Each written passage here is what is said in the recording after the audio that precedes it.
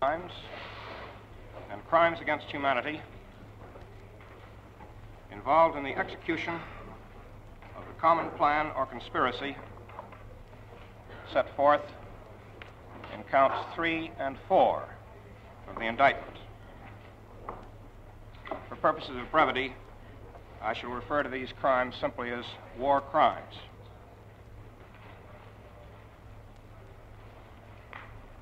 The presentation of the documents under this part of the case should take all or the better part of the morning session. At the conclusion of that, I propose to call a single witness, one witness, Eric Vondenbach Zalewski, whose testimony on direct examination should not exceed 25 or 30 minutes. After that, possibly 10 minutes to conclude, and that will be the entire presentation. Now, in this part of the case, I propose to show that members of the General Staff and High Command Group, including the defendants who are members of the group, ordered and directed the commission of war crimes and thereby participated in the commission of war crimes in their official capacities as members of the group. I also propose to show, in certain instances, the actual commission of war crimes by members of the German armed forces as a result of these orders, or as a result of other orders and arrangements made by members of the General Staff and High Command Group, which controlled the German armed forces. However, I do not propose to make a full showing of war crimes committed by the German armed forces. The full presentation of the evidence under counts three and four will be made pursuant to agreement among the chief prosecutors by the French and Soviet delegations. And a substantial amount of the evidence to be presented by them will be relevant to the charges against the General Staff and High Command Group. We will at this time show the tribunal that the General Staff and High Command became wedded to a policy of terror. In some cases, the evidence of this policy is in documentary form. And we will present the activating papers which were signed by, initialed by, and circulated among the members of the group. And in other instances, where the actual crimes were committed by others than members of the German armed forces, where, for example, prisoners of war were handed over to and mistreated by the SS or the SD. We will show that in those cases, members of this group were well aware that they were assisting in the commission of war crimes.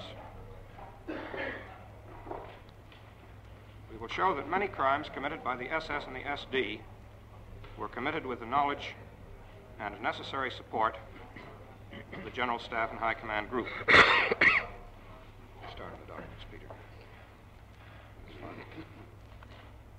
The first matter, to which I will, which I will take up, relates to the killing in violation of international law and the rules of war of Allied commandos, paratroopers, and members of military missions.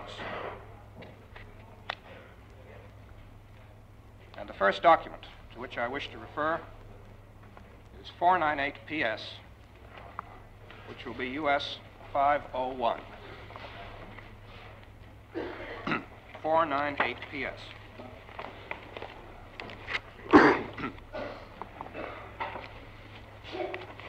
This story starts with the order embodied in that document, which is an order issued by Hitler on 18 October 1942, and which Mr. Storey has already mentioned in the presentation of charges against Sicherheitsdienst. The order begins with a recital. Allied commandos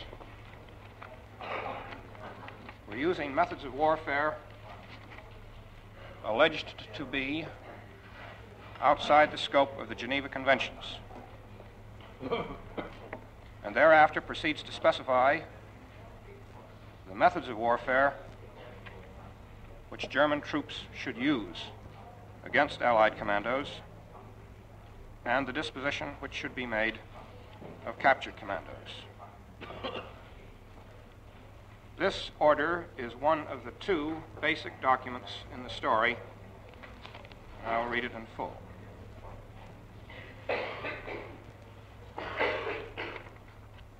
Paragraph 1. For some time, our enemies have been using in their warfare methods which are outside the International Geneva Conventions. Especially brutal and treacherous is the behavior of the so called commandos who, as is established, are partially recruited even from freed criminals in enemy countries. From captured orders, it is divulged that they are directed not only to shackle prisoners, but also to kill defenseless prisoners on the spot at the moment in which they believe that the latter, as prisoners, represent a burden in the further pursuit of their purposes,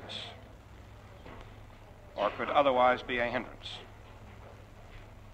Finally, orders have been found in which the killing of prisoners has been demanded in principle. Two, for this reason, it was already announced in an addendum to the Armed Forces Report of 7 October 1942 that in the future, Germany, in the face of these sabotage troops of the British and their accomplices, will resort to the same procedure. That is, that they will be ruthlessly mowed down by the German troops in combat wherever they may appear. I therefore order from now on all enemies on so called commando missions in Europe or Africa challenged by German troops. Even if they are, to all appearances, soldiers in uniform or demolition troops, whether armed or unarmed, battle or in flight, are to be slaughtered to the last man. It does not make any difference whether they are landed from ships and aeroplanes for their actions or whether they are dropped by parachute. Even if these individuals, when found, should apparently be prepared to give themselves up, no pardon is to be granted to them on principle.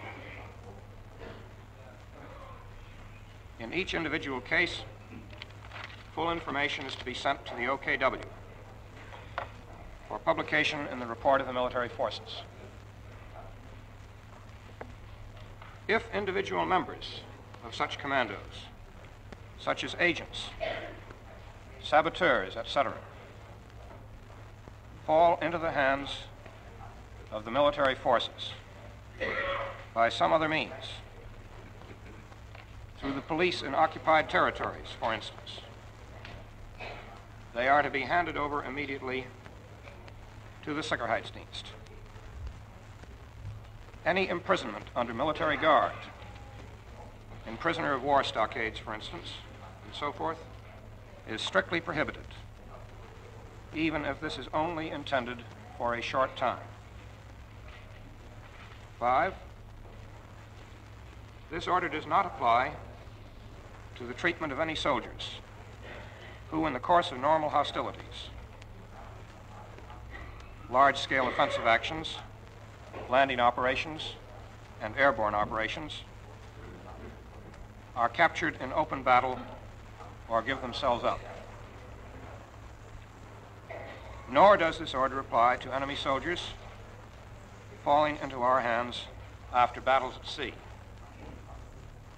or enemy soldiers trying to save their lives by parachute after battles. I will hold responsible under military law for failing to carry out this order all commanders and officers who either have neglected their duty of instructing the troops about this order or acted against this order where it was to be executed. The end of the quotation. Signed Adolf Hitler. and the tribunal will note that this order was issued by OKW in 12 copies. And the distribution shown on the second page included the three supreme commands Army, Sea, and Air, and the principal field commands. Now, the same day, Hitler issued a supplementary order. That is document 503 PS. 503 PS, which will be US 542.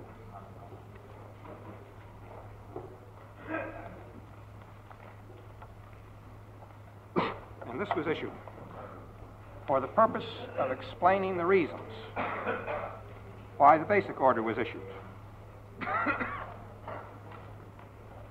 In this explanation,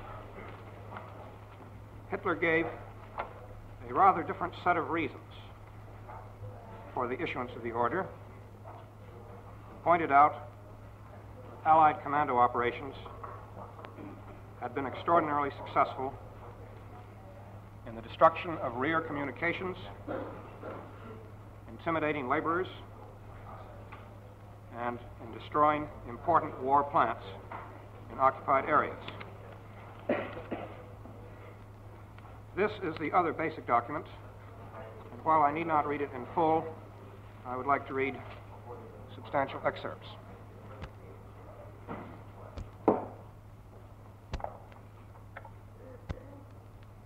Starting with the first paragraph at the top of the page, added to the decree concerning the destruction of terror and sabotage troops, then a parenthesis with a cross reference to the order which I have just read. A supplementary order of the Fuhrer is enclosed. This order is intended for commanders only and must not, under any circumstances, fall into enemy hands. the further distribution is to be limited accordingly by the receiving bureaus. The bureaus named in the distribution list are held responsible for the return and destruction all distributed pieces of this order and copies made thereof. Signed, the Chief of the High Command of the Armed Forces, by order of Jodl. Thereafter follows the distribution list, and then the supplementary order itself, signed by Hitler.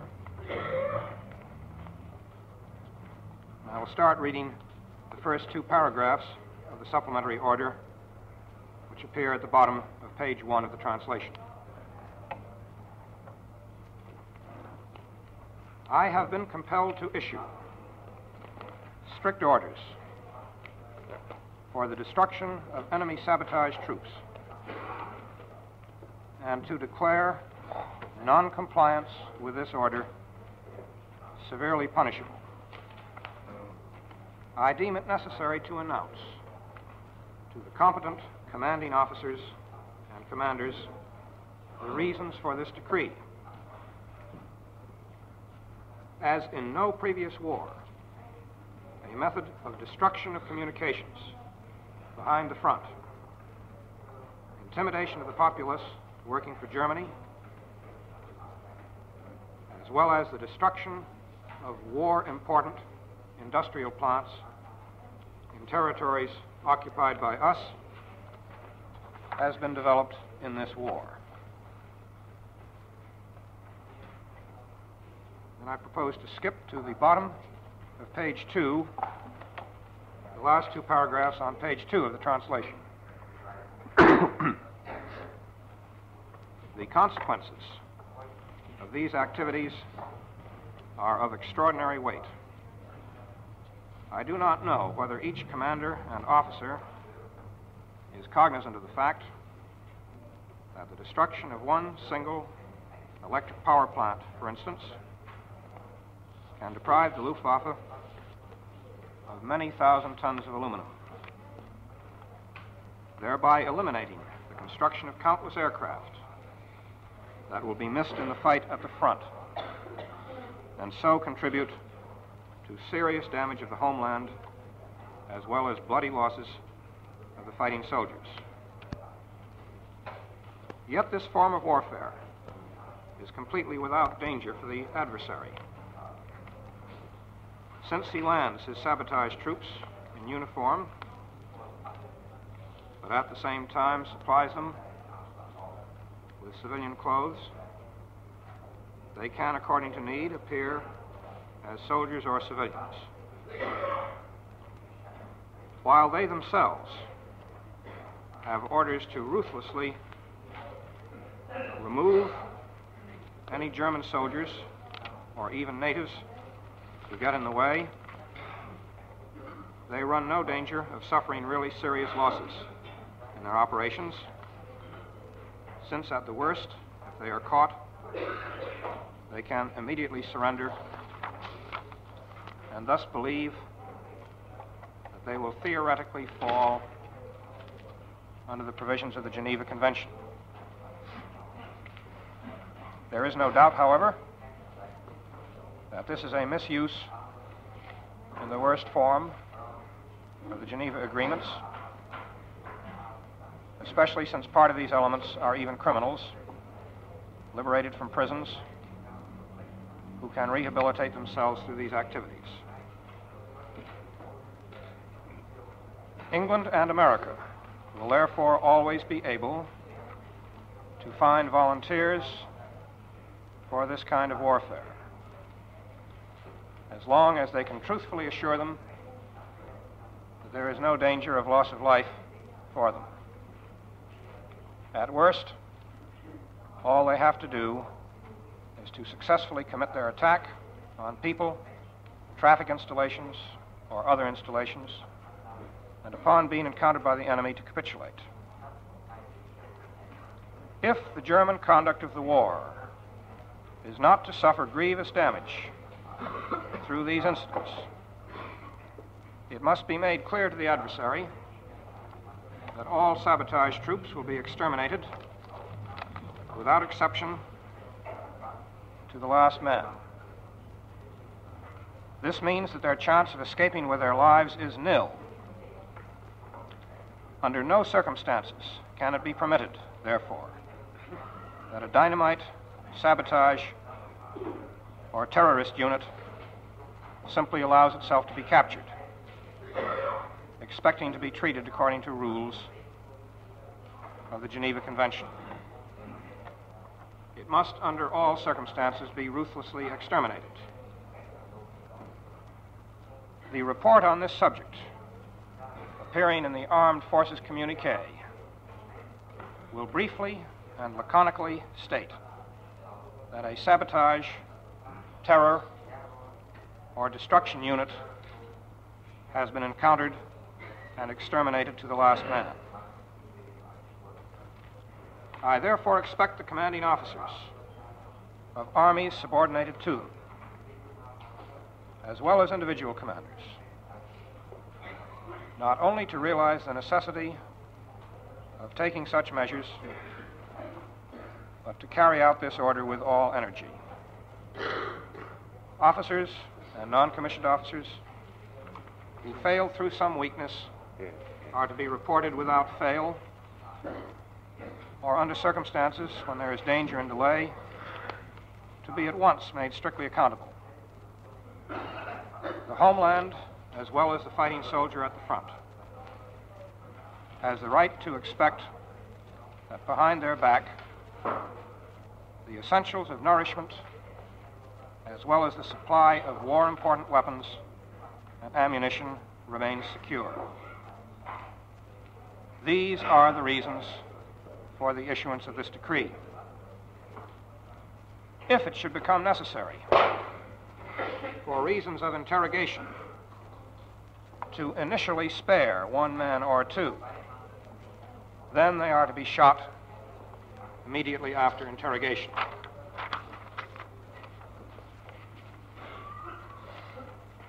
C-179 coming up. Your Lordship, the next document, C-179, which will be U.S. 543. C-179.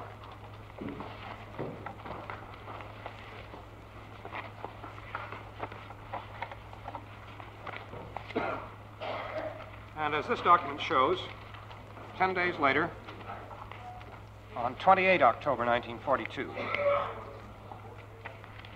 and while the defendant Raeder was commander in chief of the German Navy, the Naval War Staff in Berlin transmitted its copy of the basic order of 18 October to the lower naval commands. The copy distributed by the Navy and the covering memorandum from the Naval War Staff show clearly the secrecy which surrounded the dissemination of this order. I read the first sheet of this document only, the cover sheet.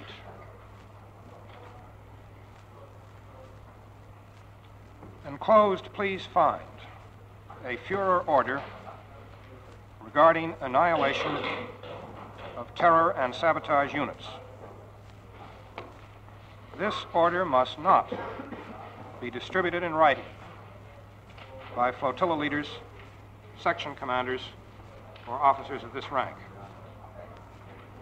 After verbal distribution to subordinate sections, the above authorities must hand this order over to the next highest section, which is responsible for its confiscation and destruction.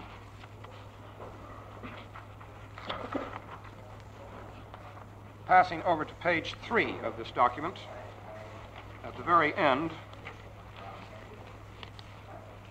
we find a, a similar admonition in the note for distribution at the very end of the document.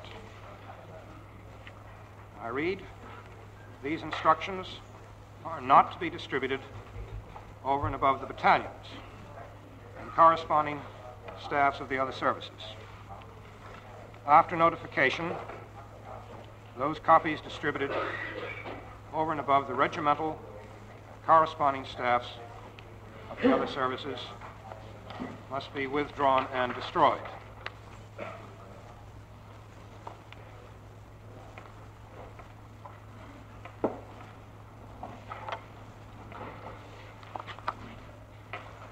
Next document, Your Lordship, is C-178, which becomes comes USA 544. C-178.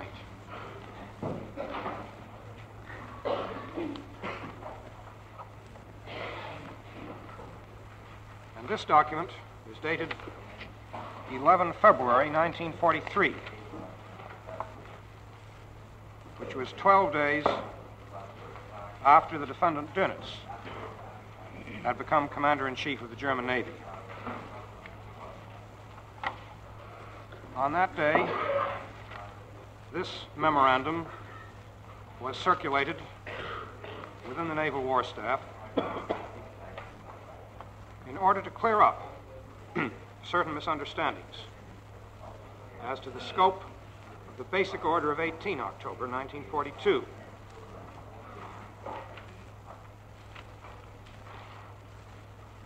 This document, of which I will read the first four paragraphs, indicates why the earlier order had been treated as such a secret matter, and also directs that all naval commanders and officers who failed to carry out the order or to instruct their units concerning the order would run the risk of serious court-martial penalties. I'll read the first four paragraphs only. From the notice given by the Naval War Staff on February 1, 1943, it has been discovered that the competent departments of the General Staff of the Army, as well as those, of the Air Force Operations Staff, have a wrong conception regarding the treatment of saboteurs. A telephone inquiry at the Naval War Staff proved that this naval authority was not correctly informed either. In view of this situation, reference is made to paragraph 6 of the Fuhrer Order of October 18, 1942, and a cross reference, according to which all commanders and officers who have neglected their duty in instructing their units about the order referring to treatment of saboteurs are threatened with punishment by court martial. The first Fuhrer order concerning this matter of October 18, 1942, was given the protection of top secret merely because it stated therein one, that, according to the Fuhrer's views, the spreading of military sabotage organizations in the East and West may have portentous consequences for our whole conduct of the war, and two, that the shooting of uniformed prisoners acting on military orders must be carried out even after they have surrendered voluntarily and asked for pardon. On the other hand, the annihilation of sabotage units in battle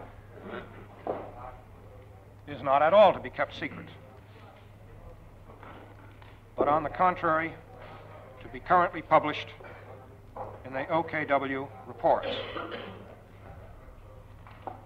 Purpose of these measures to act as a deterrent will not be achieved if those taking part in enemy commando operations would not learn that certain death and not safe imprisonment awaits them.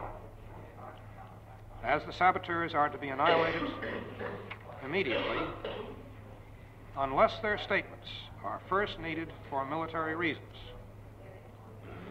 it is necessary that not only all members of the armed forces must receive instructions that these types of saboteurs, even if they are in uniform, are to be annihilated, but also all departments of the Home Staff dealing with this kind of question must be informed of the course of action which has been ordered. End of the quote.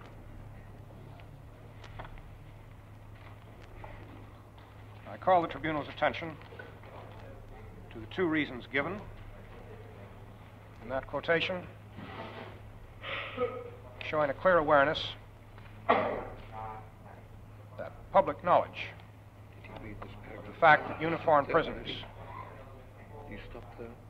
Would be shot even after they had surrendered Read the next one. No, and asked for pardon shows a clear awareness that was in direct contravention of the Hague and Geneva Conventions. Colonel Taylor, did you read the uh, paragraph beginning practical difficulties? No, Your Honor, I will I will read that. I think you should. Continuing the document.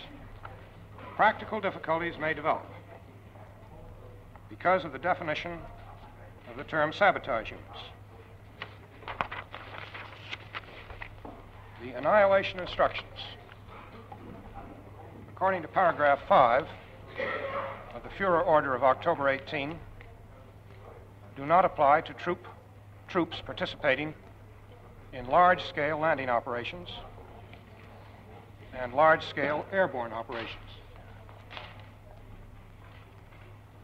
The criterion is to be found in that, in the latter case, an open battle takes place, whereas, for instance, 10 or more people who land by sea or air or drop by parachute, not to fight an open battle, but to destroy either a factory, a bridge, or a railway installation would fall into the category of those who must be annihilated.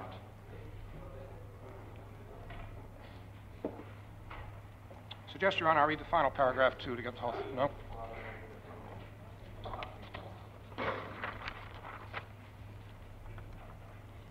Five oh eight PS. The next document, Your Honor, is 508 PS, which will be US 545. 508 PS.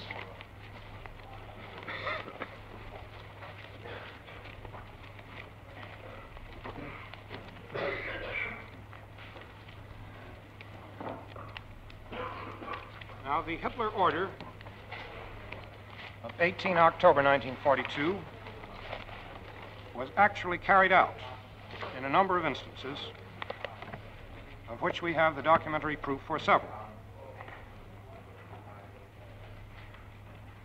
Document 508 PS shows that during the night of 19 to 20 November 1942, a British freight glider crashed near Egersund in Norway. The glider carried a British commando unit of 17 men, of whom three were apparently killed in the crash.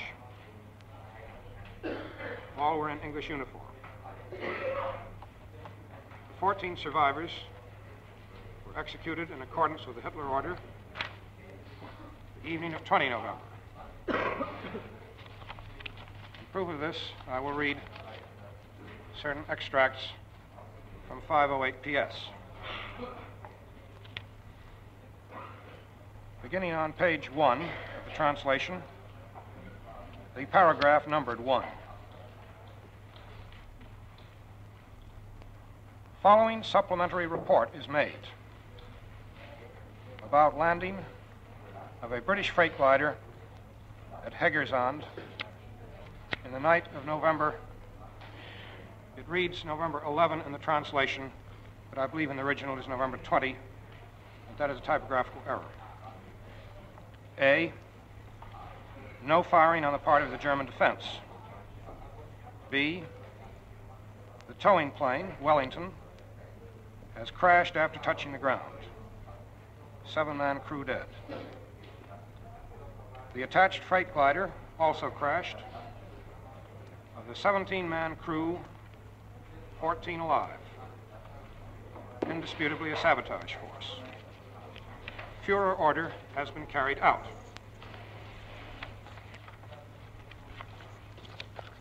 Pass to page three of the translation.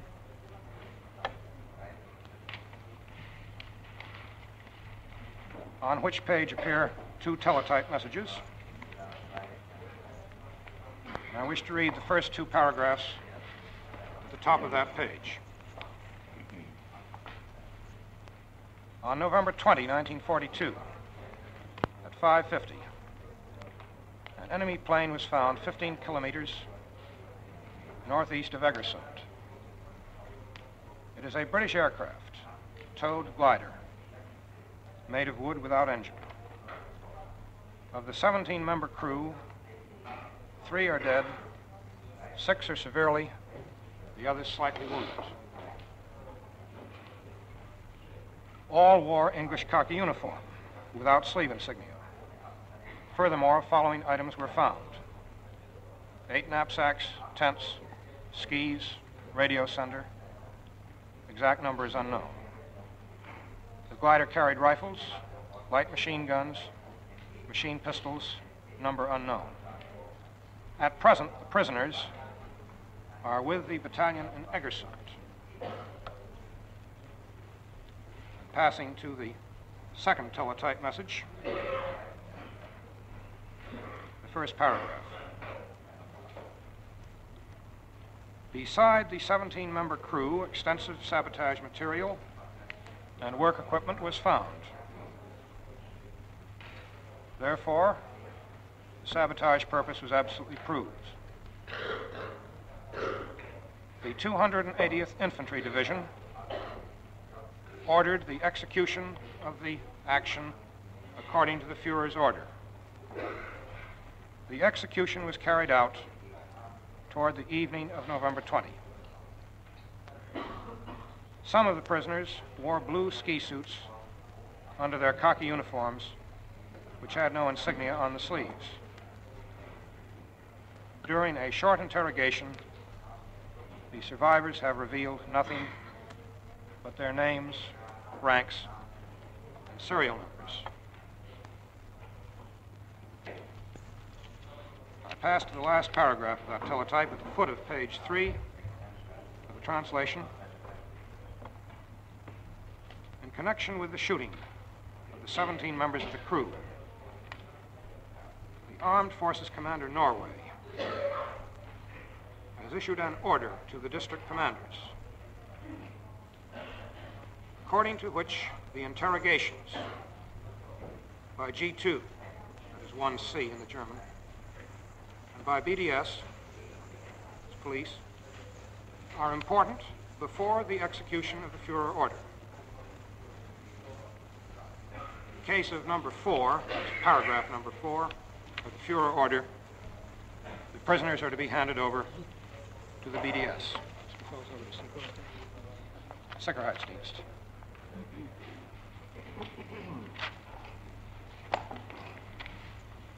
Lordship, the next document, 512 PS,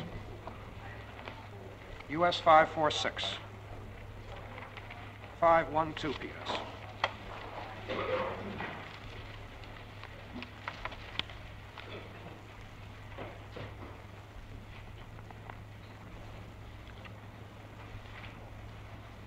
And this document recites three specific instances where the Hitler order was carried out in Norway and especially emphasizes the desirability of taking individual commandos prisoner for interrogation. I read from document 512 PS, dated 13 December 1942. According to the last sentence of the Fuhrer order of 18 October, individual saboteurs can be spared for the time being in order to keep them for interrogation. The importance of this measure was proved in the cases of the Glomfjord two-man torpedo, Drontheim, and glider plane Stavanger. where interrogations resulted in valuable knowledge of enemy intentions. Since, in the case of Egersund, the saboteur was liquidated immediately and no clues were won. Therefore, Armed Forces Commander refers to the above mentioned last sentence of the Fuhrer order calling for liquidation only after short interrogation. One final document from the Norwegian theater of war is relevant. Uh, Colonel Taylor, Yes, Your Honor. what does um, the REC cross mean, RK, in the last paragraph? The first words of the last paragraph. Reuter Kreuz, Roter Kreuz, Red Cross. It means the Red Cross, Lordship, does yes, sir. Yes, I see. so they had a protest from the Red Cross. Yes, sir. This final document from the Norwegian theater, And the BDS, what's Pardon? what's That- the, what's the Your BDS? Lordship, mean? that is Befehlshaber der SIPO, which means the police and the Sicherheitsdienst. SIPO is S-I-P-O, a portmanteau word for SIPO and Sicherheitsdienst.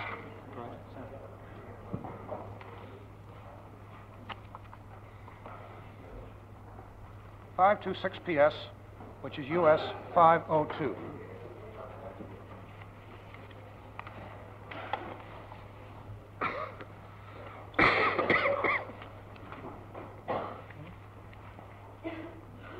This document dated 10 May 1943,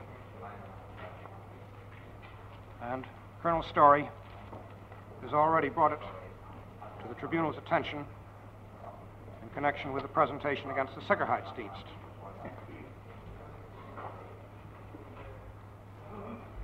I will read the first two sentences. On 30 3 1943, 30th of March 1943, in Toftefjord, an enemy cutter was sighted. Cutter was blown up by the enemy. Crew, two dead men, ten prisoners. Cutter was sent from the Shetland Islands by the Norwegian Navy. And passing to the word purpose, construction of an organization for sabotaging of strong points battery positions, staff and troop billets, and bridges. Assigner of mission in London, Norwegian Major Munthe. Führer order executed by, Sicher- by SD, Sicherheitsdienst. The Wehrmacht report of 6 April announces the following about us. In northern Norway, an enemy sabotage unit was engaged and destroyed on approaching the coast.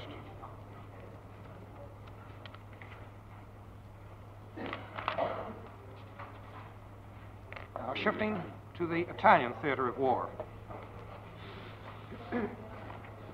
Call the court's attention to 509 PS, which will be US 547. 509 PS.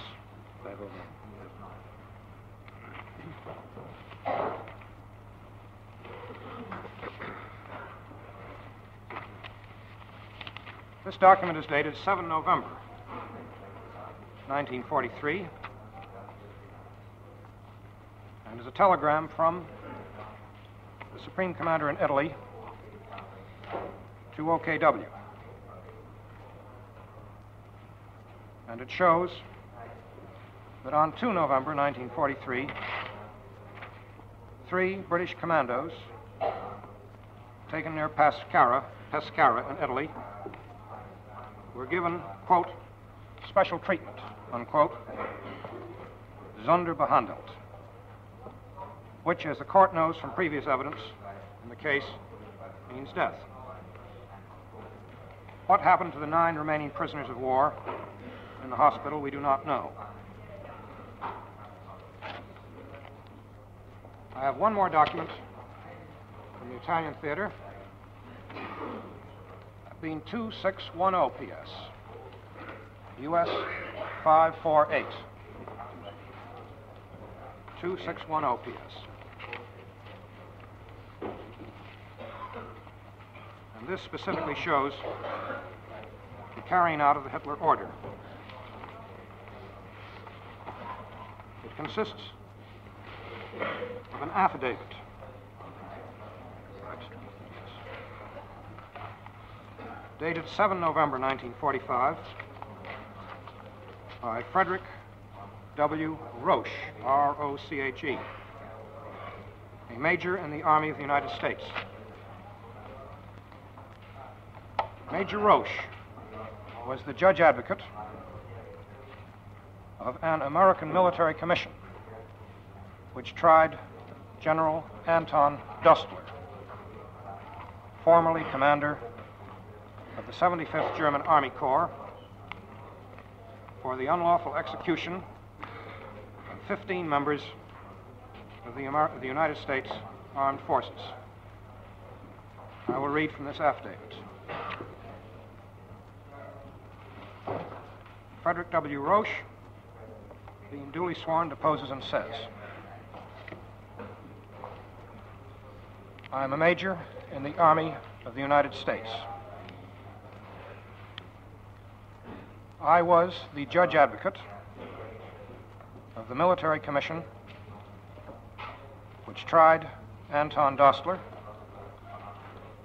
for ordering the execution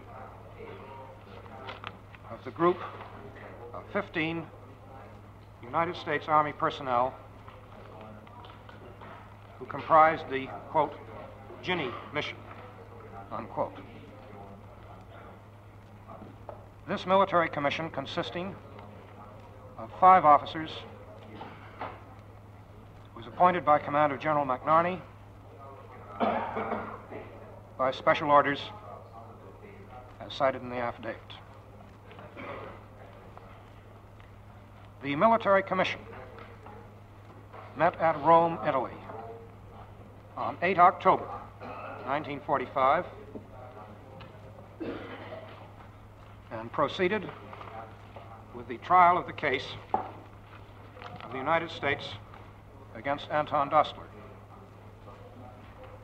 The trial of this case consumed four days, and the findings and sentence were announced on the morning of 12 October 1945.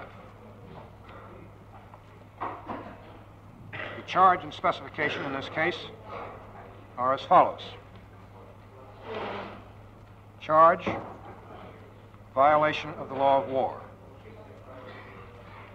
Specification, in that Anton Dostler, then general,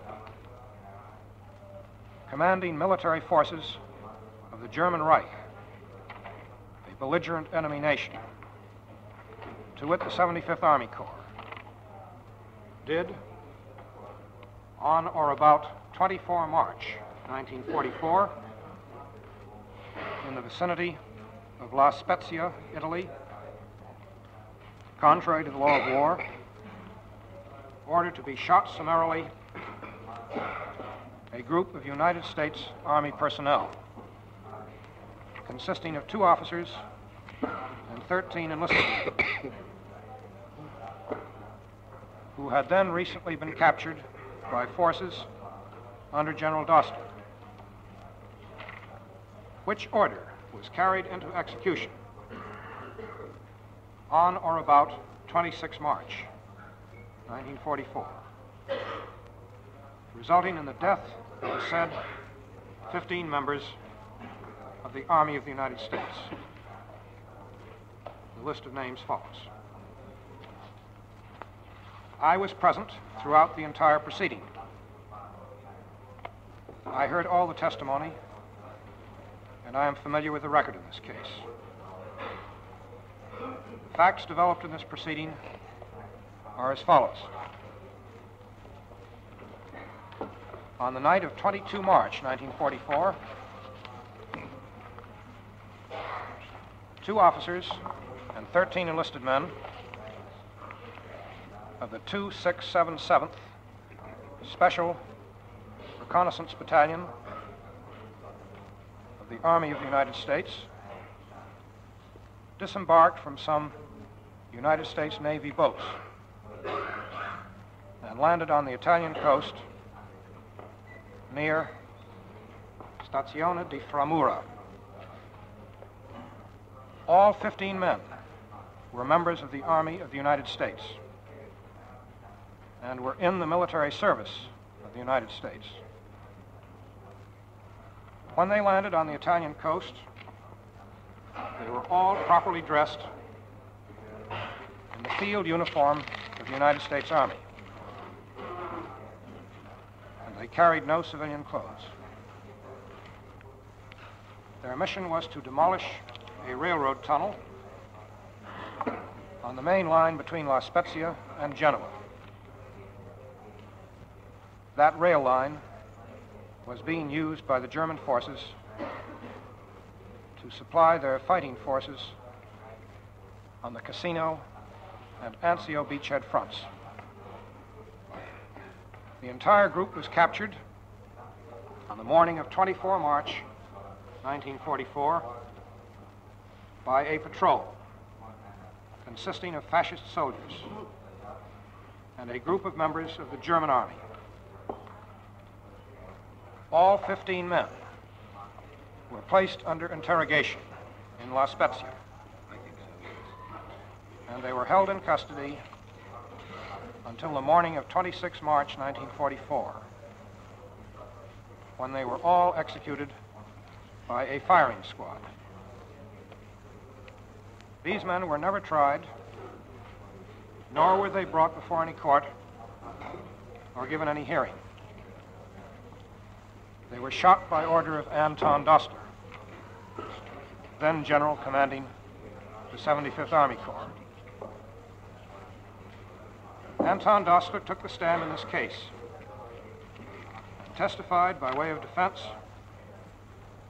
that he ordered the 15 American soldiers to be shot pursuant to the Hitler order of 18 October 1942 on commando operations, which provided that commandos were to be shot and not taken prisoner of war even after they had been interrogated. He also testified that he would have been subject to court martial proceedings if he did not obey the Hitler order. The following is a true copy of the findings and sentence case of the United States against Anton Dostler. As these findings and sentence appear in the original record of the trial and as they were announced in open court at Rome, Italy on 12 October 1945. Findings? General Dostler, as president of this commission, it is my duty to inform you that the commission, in a closed session and upon secret written ballot, at least two-thirds of all the members concurring in each finding of guilty finds you of the specification and of the charge guilty.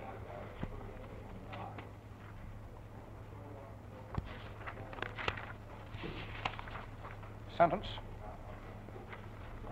And again in closed session and upon secret written ballot, at least two-thirds of all the members of the commission concurring sentences you to be shot to death by musketry.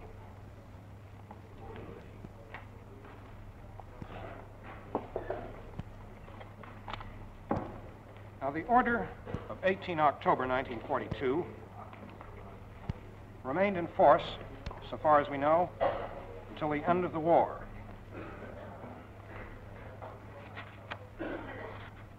I wish to offer 506 PS, which will be US 549.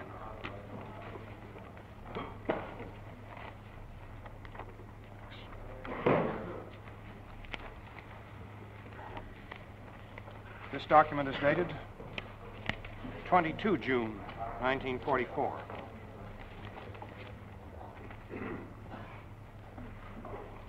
It's initialed by Warlimont. And in it, the OKW made it clear that the Hitler order was to be applied even in cases where the commando operation was undertaken by only one person. I will read the single paragraph of the order. The operations staff agrees with the view taken in the letter of the Army Group Judge to the Supreme Commander Southwest of 20 May 1944. The Fuhrer order is to be applied even if the enemy employs only one person for a task. Therefore, it does not make any difference if several persons or a single person take part in a commando raid, commando operation.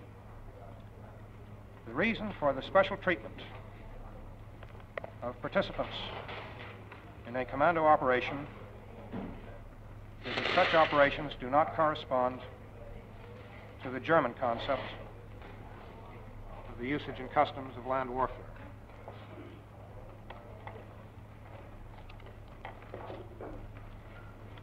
The Allied landing in Normandy early in June 1944, in the course of which large-scale airborne operations took place, raised among the Germans a question as to how far the Hitler order would be applied in Normandy and in France behind the German lines. Direct the court's attention to 531 PS, which will be US 550.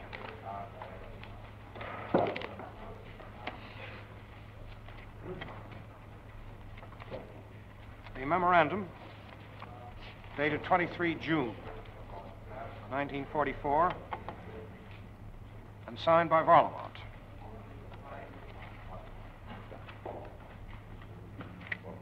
Warlimont's memorandum starts by quoting a teletype received from the Supreme Commander in the West,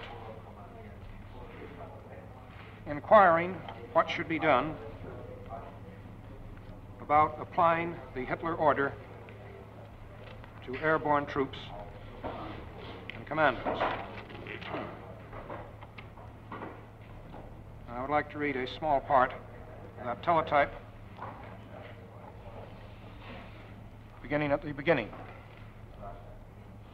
Supreme Command West reports by teletype message, top secret, of 23 June 1944. The treatment of enemy commando groups has so far been carried out according to the order referred to. If I may interpolate, the order referred to is shown in the cross reference to be the Fuhrer order of 18 October 42. With the large scale landing achieved, a new situation has arisen.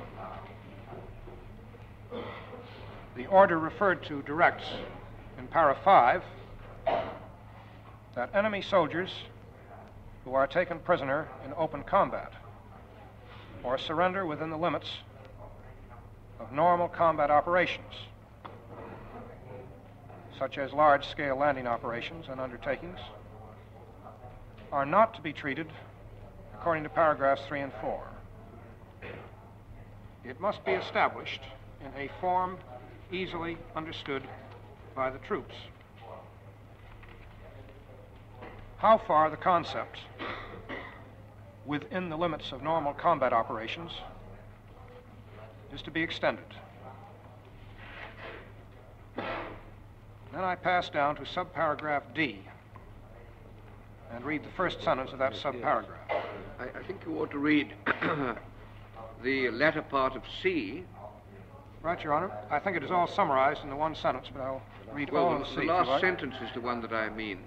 Considerable reprisals against our own prisoners must be expected if its contents become known. And Then continuing with D, the application of number five for all enemy soldiers in uniform penetrating from the outside into the occupied western areas is held by the Supreme Command West to be the most correct and clearest solution. Unquote.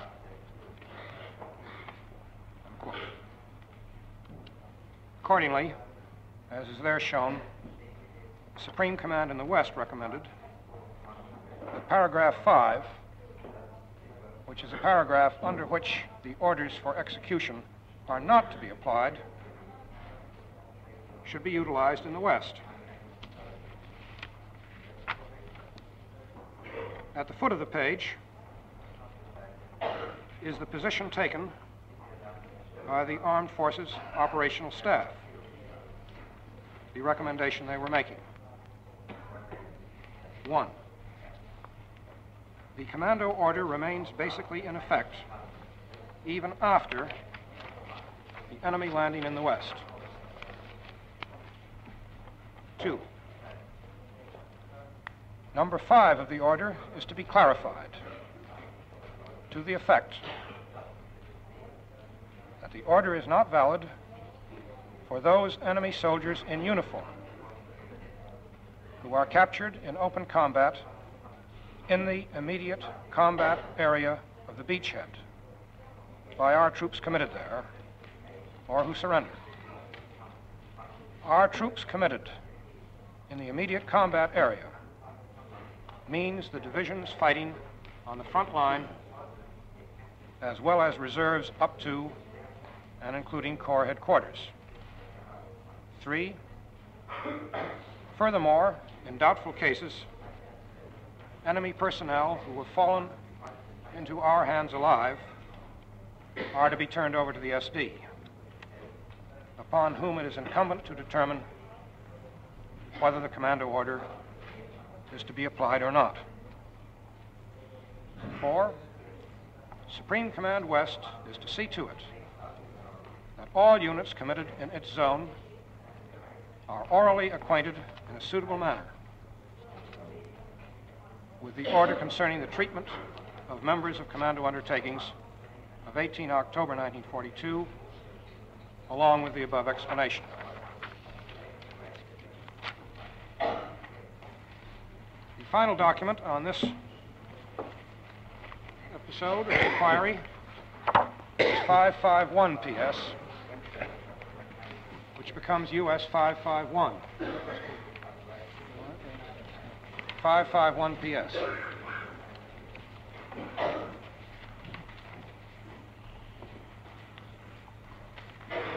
And this is the actual order of 25 June 1944, constituting OKW's reply to the inquiry from Supreme Command West. This is signed by Keitel, initialed by Warlimont and Jodl. Now we'll read beginning with subject treatment of commando participants. One, even after the landing of Anglo Americans in France, order of the Fuhrer on the destruction of terror and sabotage units of 18 October 1942 remains fully in force. Enemy soldiers in uniform in the, immediate, in the immediate combat area of the bridgehead, that is, in the area of the divisions fighting in the most forward lines, as well as the reserves up to the Corps commands, according to number five of the basic order of 18 October 1942, remain exempted. Two, all members of terror and sabotage units found outside the immediate combat area who include fundamentally all parachutists are to be killed in combat. In special cases, they are to be turned over to the SD. Three, all troops committed outside the combat area of Normandy are to be informed about the duty to destroy enemy terror and sabotage units briefly and succinctly, according to the directives issued for it. Four,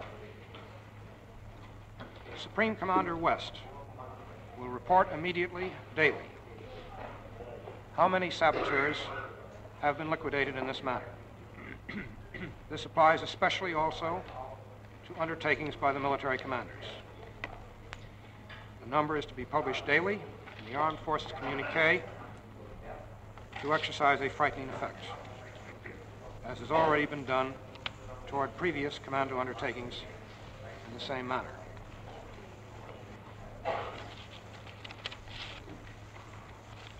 Your Lordship, there was just one further development in connection with this order, this basic order. That was that in July 1944,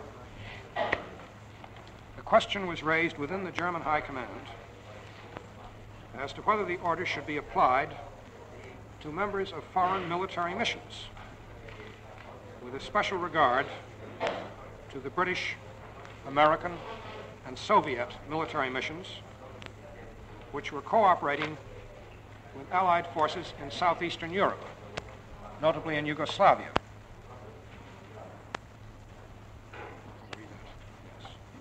A long document signed by Warlimont, which is 1279 PS, and becomes US 552, embodies the discussions which were had at OKW. I think I need not read from this document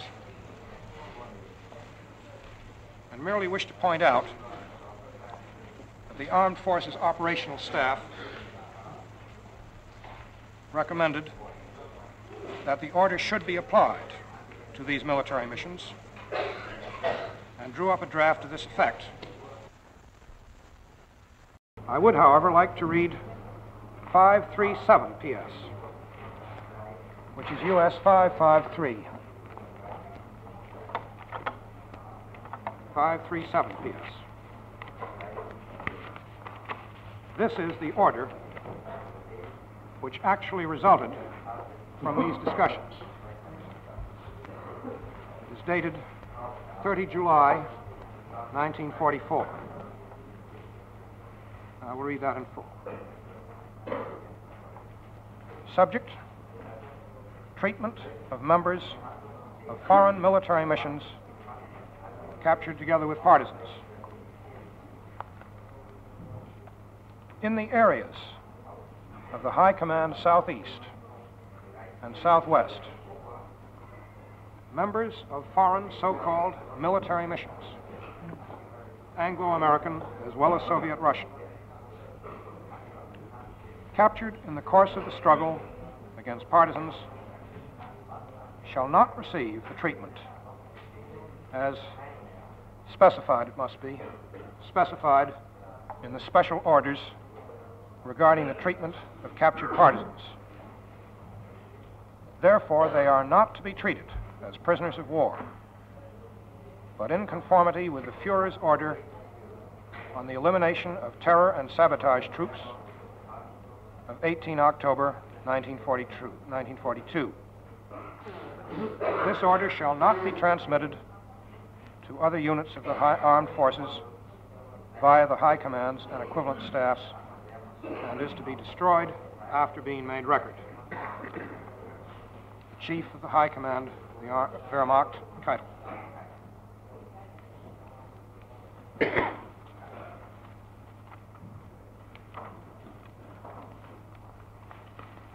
Apparently pursuant to this order, approximately 15 members of an Allied military mission to Slovakia were executed in January 1945, as is shown by document L51, which is already in the record as US 521. Didn't even go up. And which has been read in full by Lieutenant Harris, for I will not read it again.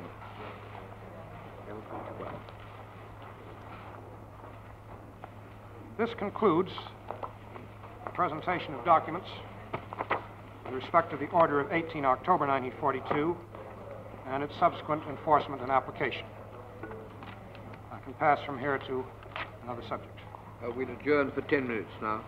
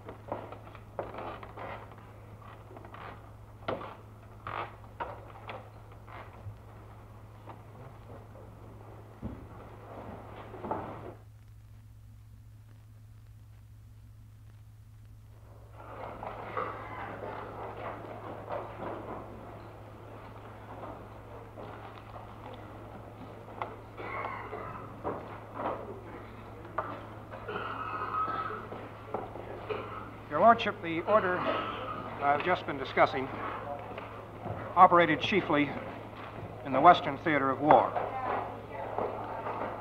This was natural, since Germany occupied almost the entire western coast of Europe from 1940 until the end of the war, the last year of the war. And during that period, land fighting in Western Europe was largely limited commando operations. I want to pass now to the Eastern Front, where there was large scale land fighting in Poland and the Soviet Union from 1941 on. Here, the German forces were fighting among a hostile population and had to face extensive partisan activities behind their lines. I propose to show here that the activities of the German armed forces against partisans and against other elements of the population became a vehicle for carrying out Nazi political and racial policies, and a vehicle for the massacre of Jews and numerous segments of the Slav population which were regarded by the Nazis as undesirable. I will show that it was the policy of the German armed forces to behave with the utmost severity to the civilian population of the occupied territories, and that its military operations, particularly against partisans, were so conducted as to advance the Nazi policies to which I have referred. I will show that the armed forces supported, assisted, and acted in cooperation with the SS groups to which reference has been made in the presentation by Major Farr and Colonel Storey. I do not plan to make a full or even partial showing of war crimes on the Eastern Front. That will be done by the Soviet delegation. Nor do I plan to retrace the ground covered by Colonel Storey and Major Farr during their presentation of the evidence against the SS, SD, and Gestapo, except to the extent necessary to clarify the relations between these organizations and the German armed forces and to demonstrate their close collaboration in the occupied territories of Eastern Europe. The first document, which I will make reference, is document C50. C50, which will be US 554.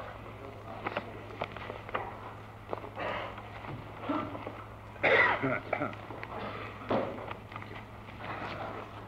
not marked.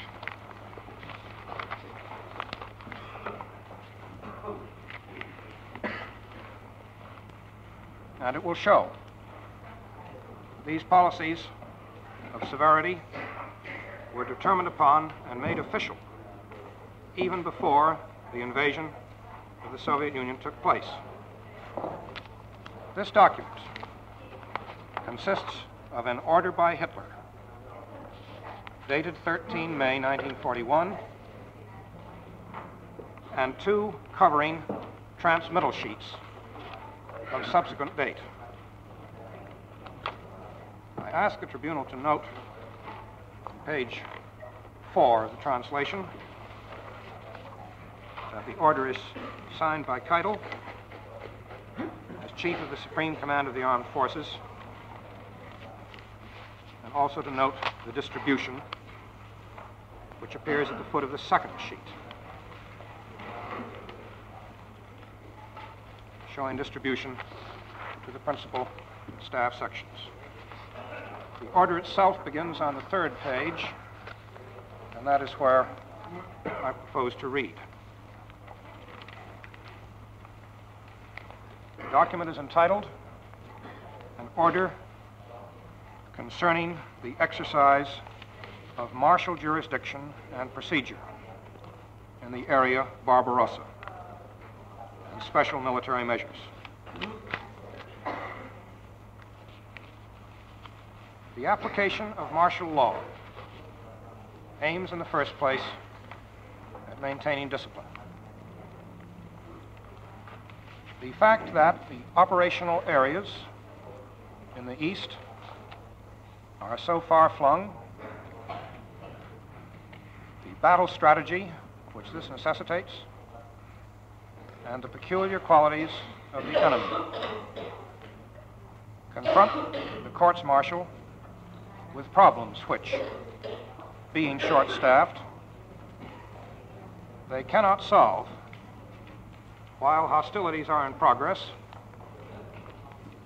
and until some degree of pacification has been achieved in the conquered areas, unless jurisdiction is confined, in the first instance, to its main task. This is possible only if the troops take ruthless action themselves against any threat from the enemy population. For these reasons, I herewith issue the following order effective for the area Barbarossa. Area of operations, Army Area Rear, and area of political administration. One, treatment of offenses committed by enemy civilians. Arabic one. Until further notice, the military courts and the courts martial will not be competent for crimes committed by enemy civilians. Two, guerrillas should be disposed of ruthlessly by the military, whether they are fighting or in flight. Three, likewise, all other attacks by enemy civilians on the armed forces, its members and employees, are to be suppressed at once by the military using the most extreme methods until the assailants are destroyed. Four, where such measures have been neglected or were not at first possible, persons suspected of criminal action will be brought at once before an officer. This officer will decide whether they are to be shot. On the orders of an officer with the powers of at least a battalion commander, collective despotic measures will be taken without delay against localities from which cunning or malicious attacks are made on the armed forces. If circumstances do not permit of a quick identification of individual offenders. Five, it is expressly forbidden to keep suspects in custody in order to hand them over to the courts after the reinstatement of civil courts. The commander-in-chiefs of the Army groups, are six, may by agreement with the competent naval and air force commanders reintroduce military jurisdiction for civilians in areas which are sufficiently settled. For the area of the political administration, this order will be given by the Chief of the Supreme Command of the Armed Forces. Roman 2. Treatment of offenses committed against inhabitants by members of the armed forces and its employees. 1. With regard to offenses committed against enemy civilians by members of the Wehrmacht and its employees, prosecution is not obligatory, even where the deed is at the same time a military crime or offense. Two, when judging such offenses, it must be borne in mind, whatever the circumstances, that the collapse of Germany in 1918, the subsequent sufferings of the German people, and the fight against National Socialism, which cost the blood of innumerable supporters of the movement, were caused primarily by Bolshevik influence, and that no German has forgotten this fact. Three, therefore, the judicial authority will decide in such cases whether a disciplinary penalty is indicated or whether legal measures are necessary. In the case of offenses against inhabitants, it will order a court martial only if maintenance of discipline or security of the, uh, of the forces call for such a measure. This applies, for instance, to serious offenses originating in lack of self control in sexual matters or in a criminal disposition, and to those which indicate that the troops are threatening to get out of hand. Offenses which have resulted in senseless destruction of billets or stores of other captured material to the disadvantage of our forces should, as a rule, be judged no less severely. The order to institute proceedings requires in every single case the signature of the judicial authority. Four, extreme caution is indicated in assessing the credibility of statements made by enemy civilians. Roman 3, responsibility of the military commanders. Within their sphere of competence, military commanders are personally responsible for seeing that one, every commissioned officer of the units under their command is instructed promptly and in the most emphatic manner on the principles set out under one above. Two, their legal advisors are notified promptly of these instructions and of verbal information in which the political intentions of the High Command were explained to commanders in chief. Three, only those court sentences are confirmed which are in accordance with the political intentions of the High Command. Four, security. Once the camouflage is lifted, this decree will be treated as most secret.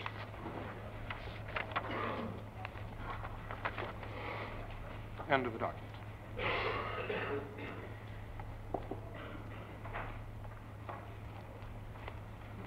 Your Lordship, the next document will be C-148, U.S. 555. C-148.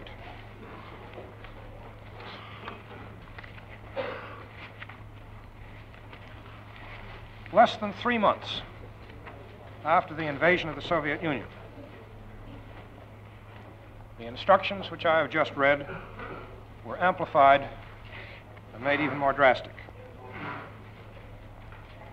Document C 148 is an order dated 16 September 1941, signed by Keitel, widely distributed, as is shown on the second sheet, where the distribution is listed. This order is of general application in all theaters of war, but from its contents is clearly of primary importance for the Eastern Front. I read beginning at the start of the order. Subject Communist insurrection in occupied territories. One. Since the beginning of the campaign against Soviet Russia, communist insurrection movements have broken out everywhere in the areas occupied by Germany. The type of action taken is growing from propaganda measures and attacks on individual members of the armed forces into open rebellion and widespread guerrilla warfare. It can be seen that this is a mass movement centrally directed by Moscow, who is also responsible for the apparently trivial, isolated incidents in areas which up to now have been otherwise quiet.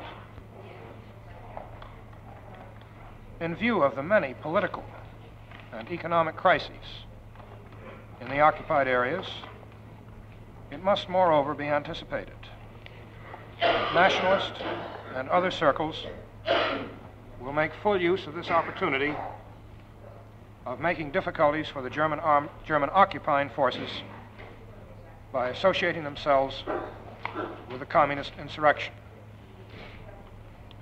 This creates an increasing danger to the German war effort, which shows itself chiefly in general insecurity for the occupying troops and has already led to the withdrawal of forces to the main centers of disturbance. Two, the measures taken up to now to deal with this general insurrection movement have proved inadequate. Fuhrer has now given orders that we take action everywhere with the most drastic means in order to crush the movement in the shortest possible time. Only this course, which has always been followed successfully throughout the history of the extension of influence of great peoples, can restore order. Three, action taken in this matter should be in accordance with the following general directions. A, it should be inferred in every case of resistance to the German occupying forces, no matter what the individual circumstances, that it is of communist origin. B. In order to nip these machinations in the bud, the most drastic measures should be taken immediately and on the first indication, so that the authority of the occupying forces may be maintained and further spreading prevented. In this connection, it should be remembered that a human life in unsettled countries frequently counts for nothing, and a deterrent effect can be attained only by unusual severity. The death penalty for 50, 100 communists should generally be regarded in these cases as suitable atonement for one German soldier's death. The way in which sentence is carried out should still further increase the deterrent effect. The reverse course of action, that of imposing relatively lenient penalties and of being content for purposes of deterrence with the threat of more severe measures, does not accord with these principles and should not be followed. End of quote. Unless the court desires the, the next read, I will pass to page two, the very end of the document, paragraph numbered four.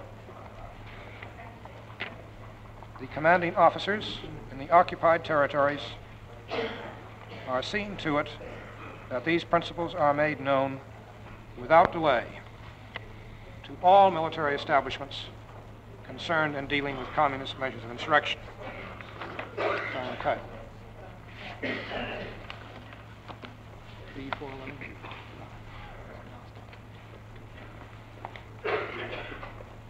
Your Lordship, the next document will have the number USA 556, and it has been given the number D, D as in David, 411, and it is the last document in Document Book 2.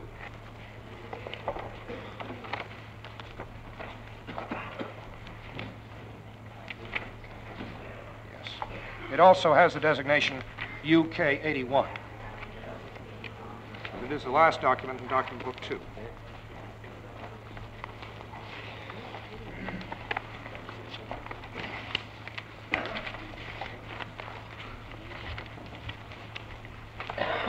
This is a set of documents which includes a directive dated 10 October 1941 by Field Marshal von Reichenau, who is the Commander in Chief, the Oberbefehlshaber of the German Sixth Army, then operating on the Eastern Front. Reichenau, who died in 1942, was therefore a member of the group, as defined in the indictment. And here is what he had to say. I'll begin reading at page 5 of the translation.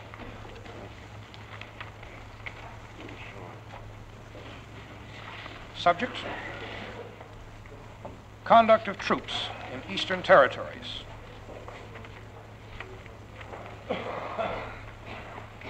Regarding the conduct of troops towards the Bolshevistic system, vague ideas are still prevalent in many cases. The most essential aim of war against the Jewish Bolshevistic system is a complete destruction of their means of power and the elimination of Asiatic influence from European culture. In this connection, the troops are facing tasks which exceed the one sided routine of soldiering. The soldier in the Eastern Territories is not merely a fighter according to the rules of the art of war, but also a bearer of ruthless national ideology and the avenger of bestialities which have been inflicted upon German and racially related nations. Therefore, the soldier must have full understanding for the necessity of a severe but just revenge on subhuman Jewry. The Army has to aim at another purpose that is, the annihilation of revolts in the hinterland, which, as experience proves, have always been caused by Jews. The combating of the enemy behind the front line is still not being taken seriously enough. Treacherous, cruel partisans, unnatural women, are still being made prisoners of war, and guerrilla fighters, dressed partly in uniform or plain clothes, and vagabonds, are still being treated as proper soldiers and sent to prisoners of war camps. In fact, captured Russian officers talk even mockingly about Soviet agents moving openly about the roads and very often eating at German field kitchens. Such an attitude of the troops can only be explained by complete thoughtlessness, so it is now high time for the commanders to clarify the meaning of the present struggle. The feeding of the natives and of prisoners of war who are not working for the armed forces from army kitchens is an equally misunderstood humanitarian act as is the giving of cigarettes and bread. Things which the people at home can spare under great sacrifices, and things which are being brought by the command to the front under great difficulties should not be given to the enemy by the soldier, not even if they originate from booty. It is an, an important part of our supply. When retreating, the Soviets have often set buildings on fire. The troops should be interested in extinguishing the fires only as far as it is necessary to secure sufficient numbers of billets. Otherwise, the disappearance of symbols of the former Bolshevistic rule, even in the form of buildings, is part of the struggle of destruction. Neither historic nor artistic considerations are of any importance in the Eastern Territories. The command issues the necessary directives for the securing of raw materials and plants, essential for war economy. The complete disarming of the civil population in the rear of the fighting troops is imperative, considering the long and vulnerable lines of communication. Where possible, captured weapons and ammunition should be stored and guarded. Should this be impossible because of the situation of the battle, the weapons and ammunition will be rendered useless. If isolated partisans are found using firearms in the rear of the army, drastic measures are to be taken. These measures will be extended to that part of the population who were in a position to hinder or report the attacks the indifference of numerous apparently anti-Soviet elements, which originates from a wait-and-see attitude, must give way to a clear decision for active collaboration. If not, no one can complain about being judges and treated a member of the Soviet system. The fear of the German countermeasures must be stronger than the threats of the wandering Bolshevistic remnants being far from all political considerations of the future, soldier has to fulfill two tasks. One, complete annihilation of the false Bolshevistic doctrine of the Soviet state and its armed forces. Two, the pitiless extermination of foreign treachery and cruelty, and thus the protection of the lives of military personnel in Russia. This is the only way to fulfill our historic task to liberate the German people once forever from the Asiatic Jewish danger. Signed, von Reichenau, Commander-in-Chief.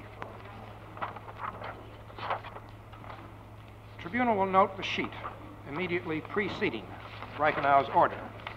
That is sheet number four for the translation, which is a memorandum dated 28 October 1941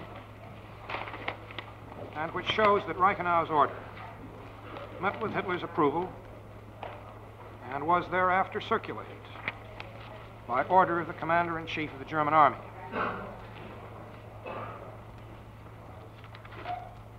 The tribunal will also note from the first sheet, the very top sheet and the several ensuing, that Reichenau's order was thereafter circulated down to divisional level and was received by the 12th German Infantry Division on 27 November 1941.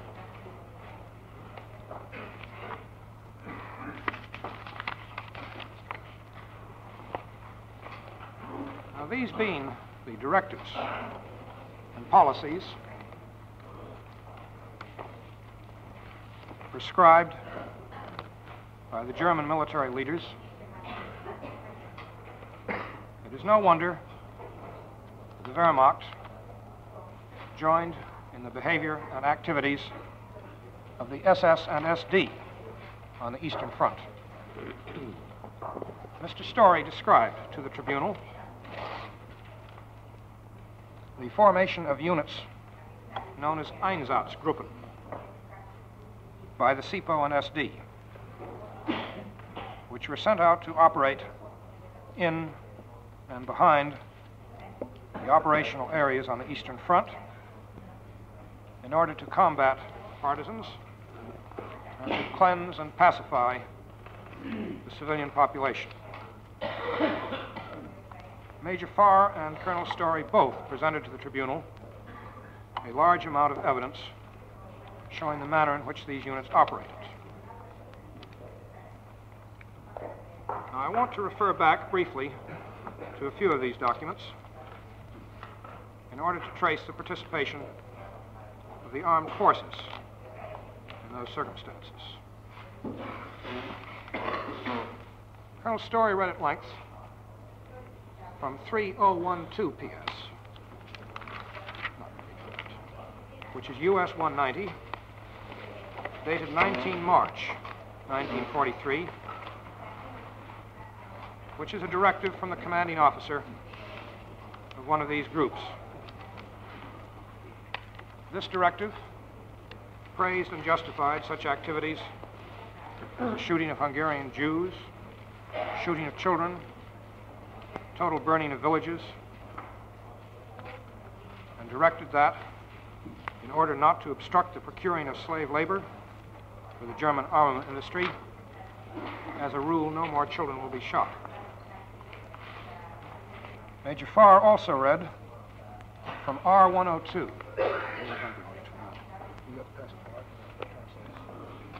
R102, which is US 470.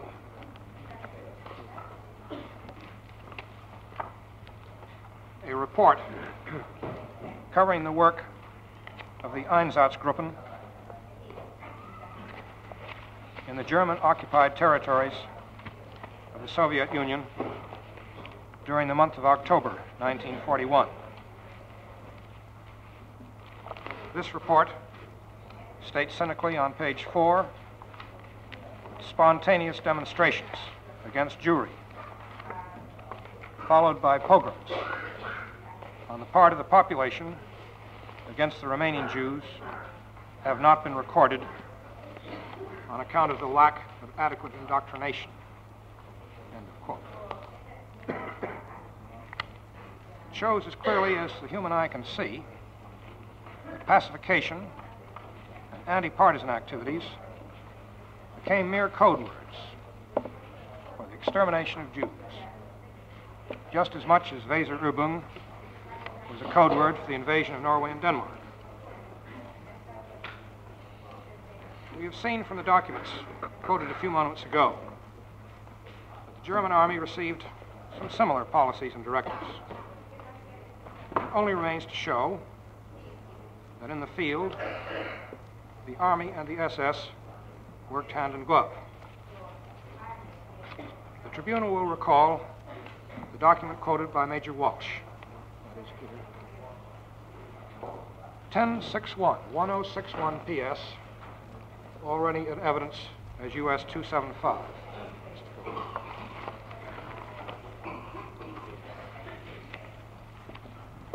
Which describes the destruction of the Warsaw Ghetto. And at this time, I merely want to call attention to one paragraph of this document, appearing at page six of the translation. Page six of 1061 PS. The third paragraph from the bottom of the page, where the author of the document stresses the close cooperation between the SS and the Army. I read that one paragraph, quote, the longer the resistance lasted, the tougher the men of the Waffen-SS, police, and Wehrmacht became. They fulfilled their duty indefatigably in faithful comradeship and stood together as models and examples of soldiers. Their duty hours often lasted from early morning till late at night. At night, search patrols with rags wound round, wound round their feet remained at the heels of the Jews and gave them no respite. Not infrequently, they caught and killed Jews who used the night hours for supplementing their stores from abandoned dugouts for contacting neighboring groups or exchanging news with them.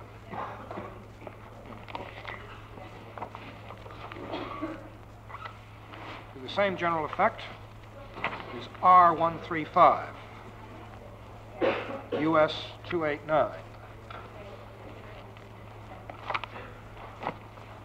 which is a report dated 5 June 1943 by the German General Commissioner for Minsk.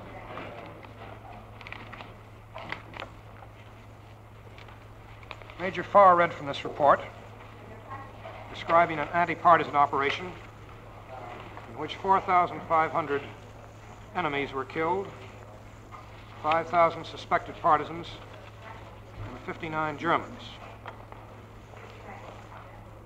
The cooperation by the German army shown in the following excerpt. I begin reading bottom page three of the translation. The figures mentioned above indicate that again a heavy destruction of the population must be suspected, ex- expected. If only 492 rifles are taken from 4,500 enemy dead, this discrepancy shows that among these enemy dead were numerous peasants from the country. The battalion Dirlewanger, especially, has a reputation for destroying many human lives. Among the 5,000 people suspected of belonging to bands, there were numerous women and children. By order of the chief of band combating, SS Obergruppenführer von dem Bach, units of the armed forces have also participated in the operation. SS Standartenführer Kunzel was in command of the armed forces detachments, among whom there were also 90 members from my office and from the district commissariat at Minsk. Our men returned from the operation yesterday without losses.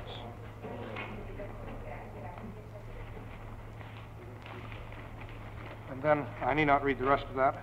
The next paragraph shows, again, the participation of armed forces personnel.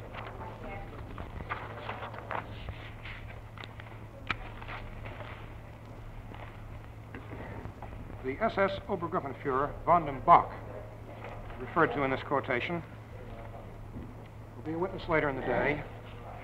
And in this connection, I want to call the court's attention to 1919 PS, US 170.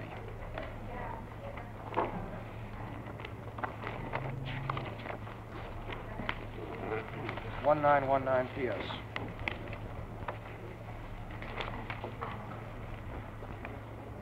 Which is Himmler's speech on October 4, 1943, to a gathering of SS generals at Posen. In this speech, Himmler mentioned the appointment of von dem Bach to be chief of all anti-partisan units. I would like to read one paragraph from page three of the document, merely for purposes of identification of the witness. Chief of the anti-partisan units. In the meantime, I have also set up the Department of Chief of the Anti-Partisan Units. Our comrade, SS Obergruppenfuhrer von dem Bach, is Chief of the Anti-Partisan Units. I considered it necessary for the Reichsfuhrer SS to be in authoritative command in all these battles. For I am convinced that we are best in a position to take action against this enemy struggle, which is decidedly a political one. Except where the units which had been supplied and which we had formed for this purpose were taken from us to fill in gaps at the front, we have been very successful. End of the quotation.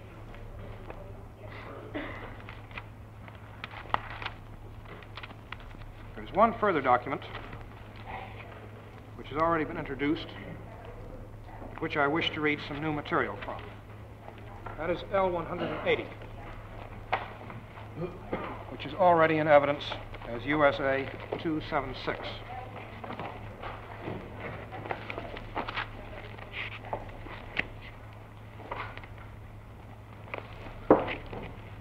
L180.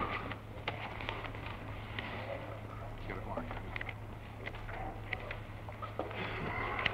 This is the report of Einsatzgruppe A, covering the period up to 15 October 1941. I think the excerpts which I will read will make clear beyond doubt the participation of the German military leaders and armed forces in the activities of these Einsatzgruppen. I read first page two of the translation, the top of the page. Action Group A. After preparing their vehicles for action, proceeded to their area of concentration as ordered on 23 June 1941, the second day of the campaign in the East. Army Group North, consisting of the 16th and 18th Armies and Panzer Group 4, had left the day before. Our task was to hurriedly establish personal contact with the commanders of the armies and with the commander of the Army of the Rear Area. It must be stressed from the beginning that cooperation with the armed forces was generally good. In some cases, for instance, with Panzer Group of Four, under Colonel General Hoepner, it was very close and almost cordial. Misunderstandings which cropped up with some authorities in the first days were cleared up mainly through personal discussions.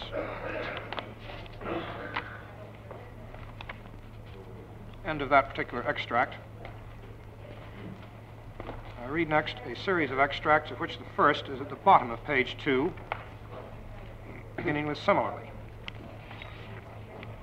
Similarly, native anti Semitic forces were induced to start pogroms against Jews during the first hours after capture, though this inducement proved to be very difficult. Following out orders, security police were determined to solve the Jewish question with all possible means and most decisively. But it was desirable that the security police should not put in an immediate appearance, at least in the beginning, since the extraordinarily harsh measures were apt to stir even German circles. It had to be shown to the world that the native population itself took the first action by way of natural reaction against the suppression by Jews during several decades and against the terror exercised by the communists during the preceding period. Pass to page four. Translation.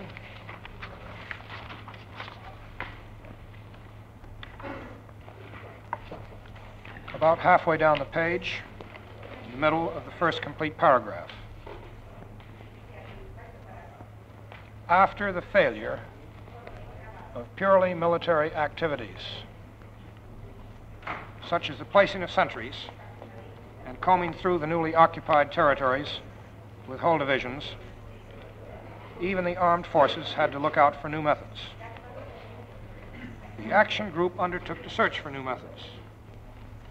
Soon, therefore, the armed forces adopted the experiences of the security police and their methods of combating the partisans. For details, I refer to the numerous reports concerning the struggle against the partisans. Pass next to page six.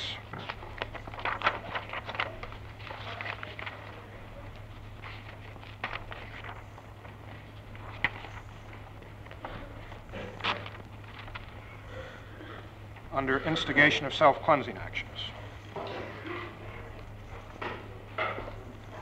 Considering that the population of the Baltic countries had suffered very heavily under the government of Bolshevism and Jewry while they were incorporated in the USSR, it was to be expected that after the liberation from the foreign government, they, that is the population themselves, would render harmless most of the enemies left behind after the retreat of the Red Army.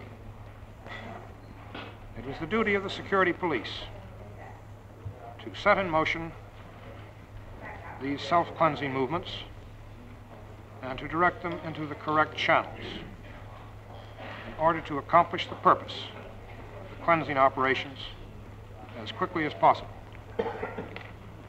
It was no less important in view of the future to establish the unshakable and provable fact that the liberated populations themselves took the most severe measures against the Bolshevist and Jewish enemy quite on their own, so that the direction by German authorities could not be found out. In Lithuania, this was achieved for the first time by partisan activities in Kovno. To our surprise, it was not easy at first to set in motion an extensive pogrom against Jews. Klimatis, the leader of the partisan unit mentioned above, who was used for this purpose primarily, succeeded in starting a pogrom on the basis of advice given to him by a small advanced detachment acting in Kovno in such a way that no German order or German instigation was noticed from the outside. During the first pogrom, in the night from 25 to 26 June, the Lithuanian partisans did away with more than 1,500 Jews, set fire to several synagogues, or destroyed them by other means, and burned down a Jewish dwelling district consisting of about 60 houses. During the following nights, about 2,300 Jews were made harmless in a similar way. In other parts of Lithuania, similar actions followed the example of Kovno, though smaller and extending to the communists who had been left behind. These self-cleansing actions went smoothly because of the army authorities who had been informed showed understanding for this procedure. From the beginning, it was obvious that only the first days after the occupation would offer the opportunity for carrying out pogroms. After the disarmament of the partisans, the self-cleansing actions ceased necessarily. Pass to page 10, translation. Page 10 toward the bottom, under other jobs of the security police. Occasionally, the conditions prevailing in the lunatic asylums necessitated operations of the security police. Passing to the next paragraph, sometimes authorities of the armed forces asked us to clean out in a similar way other institutions which were wanted as billets. However, as interest to the security police did not require any intervention, it was left to the authorities of the armed forces to take the necessary action with their own troops. Pass to page 17.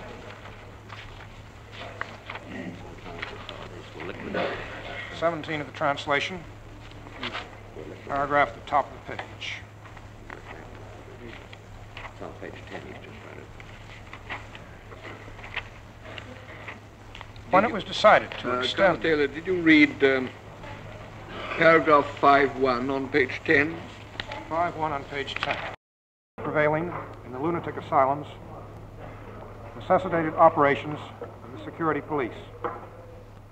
Many institutions have been robbed by the retreating Russians of their whole food supply.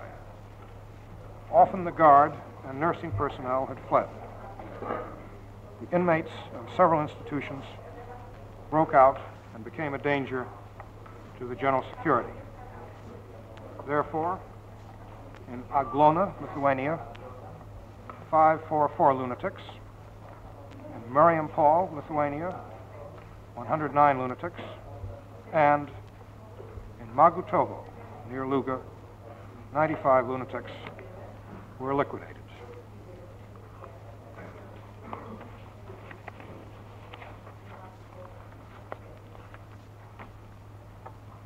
Passing back to page 17 the first paragraph on that page.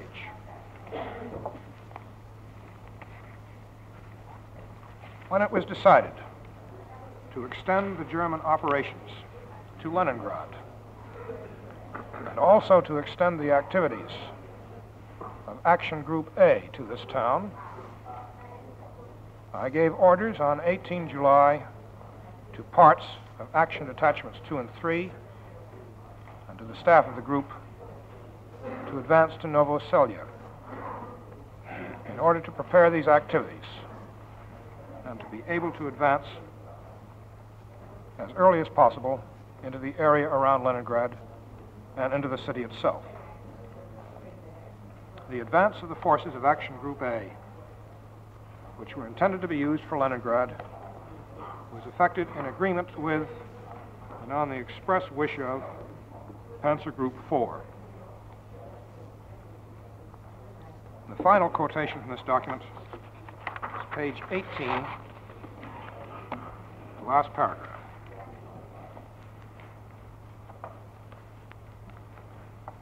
Action Detachment of Action Group A of the Security Police participated from the beginning in the fight against the nuisance created by partisans. Close collaboration with the armed forces and the exchange of experiences which were collected in the fight against partisans brought about a thorough knowledge of the or- origin, organization, strength, equipment, and system used by the Red partisans as time went on.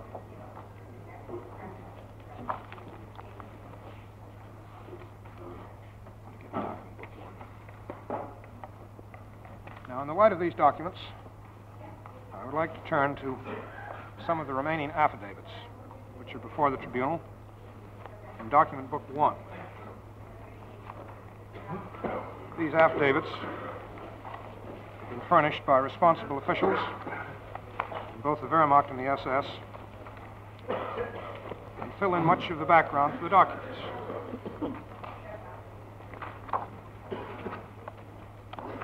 Affidavit number 12 is an affidavit by Schellenberg, which, in view of the fact that its contents have been covered in Schellenberg's and Ohlendorf's testimony, I do not propose to read. It covers much of the same ground, and I see no reason to take the time of the tribunal by reading it. I should like to have it considered, subject to the usual rule that Schellenberg can be questioned on any of these matters by the defense. The affidavit itself is available in French and Russian, as well as English, and in German to the defense. So I will pass over that one. I turn to affidavit Number 13, which will be US 558. Oh, I guess the other one gets number two, doesn't it? Yes, the Schellenberg will be 557. And number 13 becomes 558.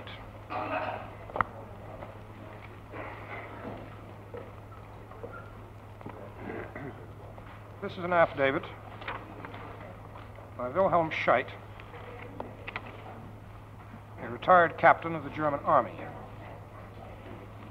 who worked in the War History section of the OKW from 1941 to 1945. And it sheds considerable light on the relations between the Wehrmacht and the SS at the top with respect to anti-partisan warfare. I will read the affidavit.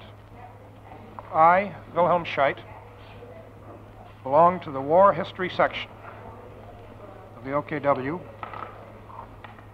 from the year 1941 to 1945. Concerning the question of partisan warfare, I state that I remember the following. From my knowledge of the documents of the operations staff of the OKW, as well as from my conversations in the Fuhrer's headquarters General Major Walter Scherff, the Fuhrer's appointee for the compilation of the history of the war. Counterpartisan warfare was originally a responsibility of Reichsfuhrer SS Heinrich Himmler, who sent police forces to handle this matter. In the years 1942 and 1943, however, counterpartisan warfare developed to such an extent that the operations staff of the OKW had to give it special attention. It proved necessary to conduct extensive operations against the partisans with Wehrmacht troops in Russian as well as Yugoslavian territory. Partisan operations for a long while threatened to cut off the lines of communication and transport routes that were necessary to support the German Wehrmacht. For instance, a monthly report concerning the attacks on the railroad lines in occupied Russia revealed that in the Russian area alone, from 800 to 1,000 attacks occurred each month during that period, causing, among, among other things, the loss of from 500, uh, from 200 to 300 locomotives. It was a well-known fact that partisan warfare was conducted with cruelty on both sides. It was well known that reprisals were inflicted on hostages and communities whose inhabitants were suspected of being partisans or supporting them. Beyond question that these facts must have been known to the leading officers in the operations staff of the OKW and in the Army's general staff. It was further well known that Hitler believed that the only successful method of conducting counterpartisan warfare was to employ cruel punishments as deterrents. I remember that time of the Polish revolt in Warsaw, SS Gruppenführer Fegelein reported to General Oberst, Oberst Guderian and Jodl about the atrocities of the Russian SS Brigade Kaminsky, which fought on the German side. Now, the foregoing documents and the testimony of Ohlendorf and Schellenberg relate to the arrangements which were made between the OKW, OKH, and Himmler's headquarters with respect to anti-partisan warfare. They show conclusively that these arrangements were made jointly. That the High Command of the Armed Forces not only full, fully aware of, but an active participant in these plans. Turning now to the field, I would like to read three statements by General Hans Rottiger. Those will be affidavits numbers 15 and 16. USA 559 and 560.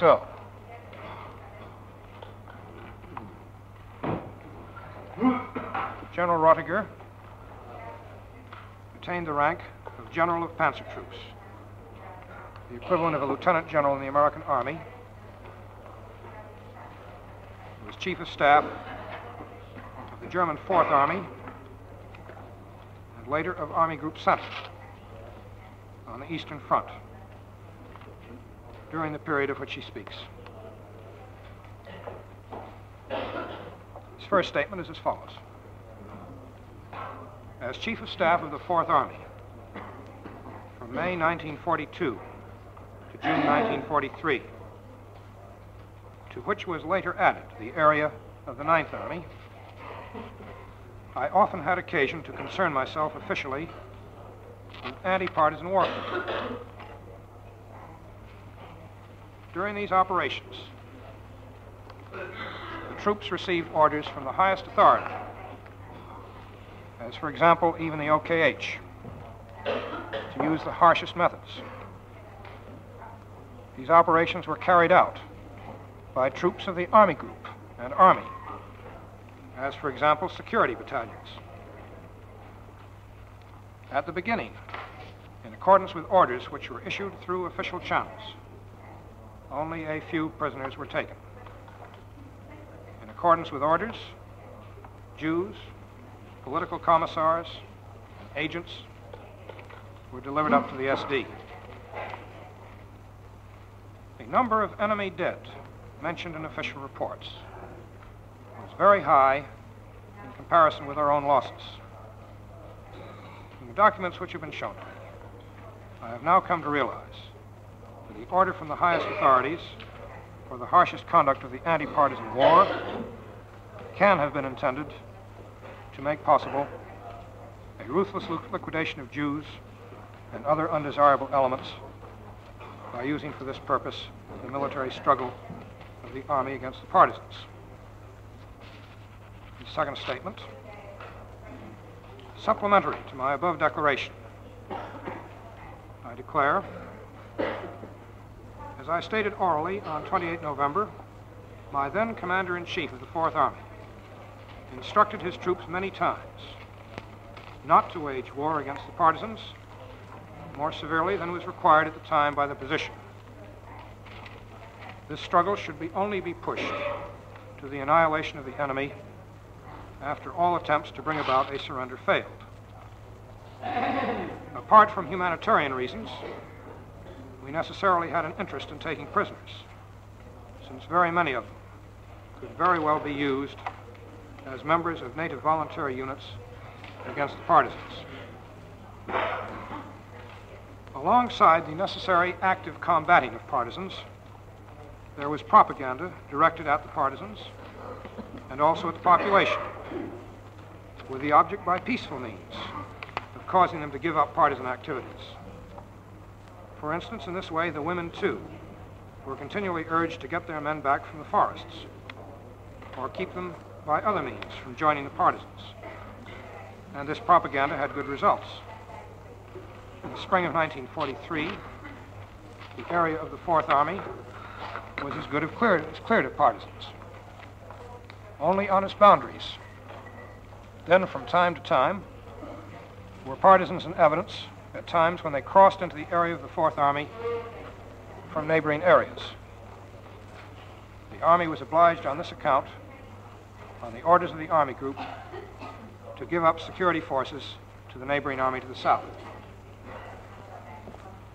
And the third statement by Rottiger, number 16.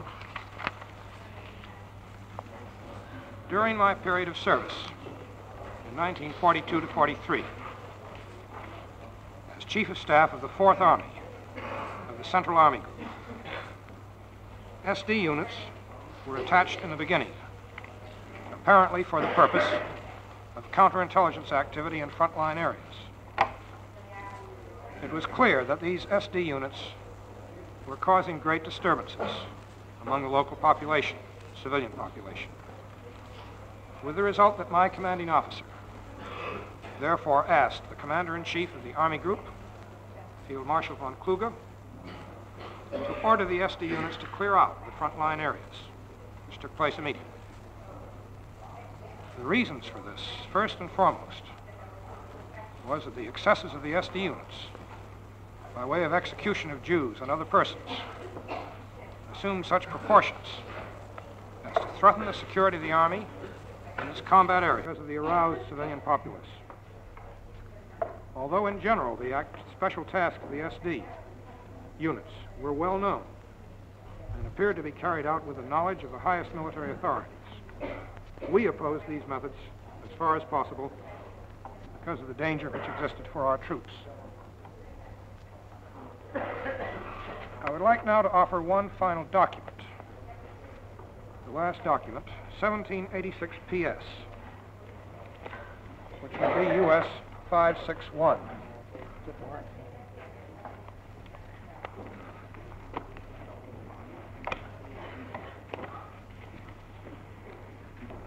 Seventeen eighty-six PS. this is an extract from the war diary of the Deputy Chief of the Armed Forces Operational, Operations Staff, dated 14 March 1943. I propose to read the last two paragraphs, which deal with the problem of shipping off suspected partisans to concentration camps in Germany. The tribunal will see from the extract, which I will read, the Army was chiefly concerned with preserving a sufficient severity of treatment for suspected partisans without at the same time obstructing the procurement of labor from the occupied territories. The last two paragraphs. The General Quartermaster, together with the economic staff, has proposed that the deportees should be sent either to prison camps or to training centers in their own area. And the deportation to Germany should take place only when the deportees are on probation and in less serious cases. In the view of the Armed Forces Operations Staff, this proposal does not take sufficient account of the severity required and leads to a comparison with the treatment meted out to the peaceful population which has been called upon to work. He recommends, therefore, transportation to concentration camps in Germany, which have already been introduced by the Reichsfuhrer SS for his sphere, and which he is prepared to introduce for the armed forces in the case of an extension to the province of the latter. The High Command of the Armed Forces therefore orders that partisan helpers and suspects who are not to be executed should be handed over to the competent higher SS and police leader and orders that the difference between punitive work and work in Germany is to be made clear to the population. Finally, I would like to offer a group of four affidavits which show that the anti-partisan activities on the Eastern Front were under the command and supported by the Wehrmacht. The nature of these activities were fully known to the Wehrmacht. First of these is affidavit number 17, USA 562.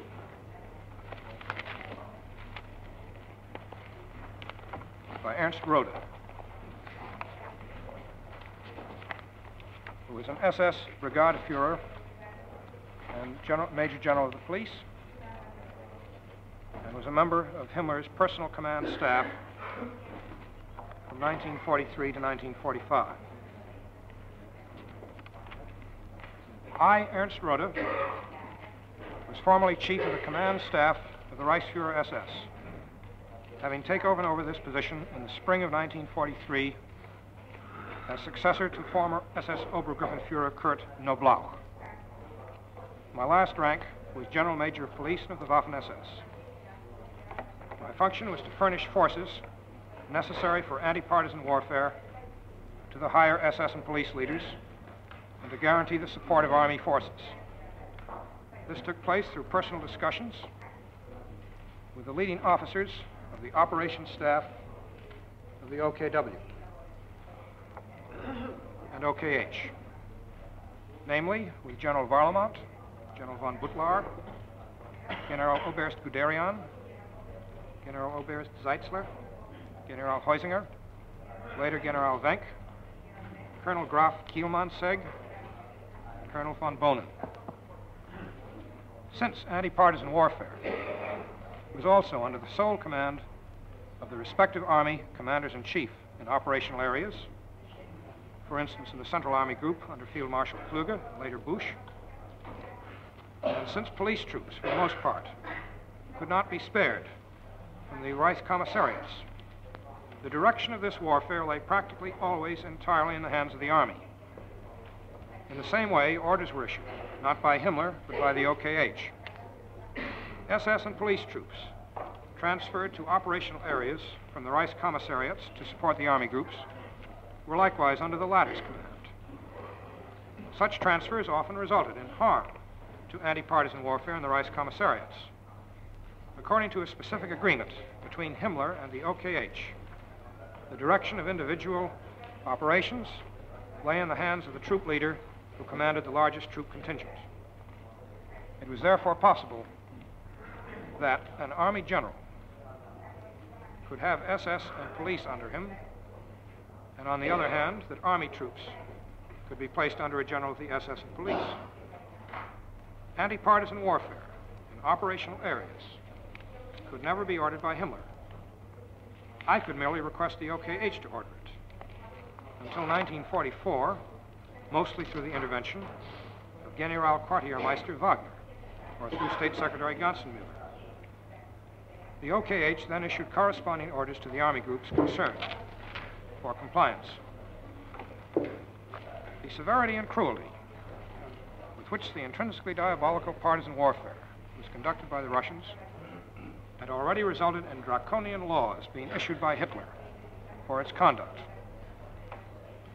These orders, which were passed on to the troops through the OKW and OKH, were equally applicable to Army troops as well as to those of the SS and police. There was absolutely no difference in the manner in which these two components carried on this warfare. Army soldiers were exactly as embittered against the enemy as those of the SS and police. As a result of this embitterment, orders were ruthlessly carried out by both components, a thing which was also quite in keeping with Hitler's desires or intentions. As proof of this, the order of the OKW and OKH can be adduced, which directed that all captured partisans, for instance, such as Jews, agents, and political commissars, should without delay be handed over by the troops to the SD for special treatment. This order also contained the provision that in anti-partisan warfare, no prisoners except the above named be taken. That anti-partisan warfare was carried on by Army troops mercilessly and to every extreme I know as the result of discussions with Army troop leaders. For instance, with General Herzog, commander of the 38th Army Corps, with his chief of staff, Colonel Pomberg, in the general staff, both of whom support my opinion. Today it is clear to me that anti-partisan warfare gradually became an excuse for the systematic annihilation of Jewry and Slavism. Your Lordship, I am told that I misread and said Hitler instead of Himmler, Himmler's commando staff. That's what Rode was on. I'd like next to offer another and shorter statement by Rode, which shows that the SD Einsatzgruppen were under Wehrmacht command. Number 18, US 563.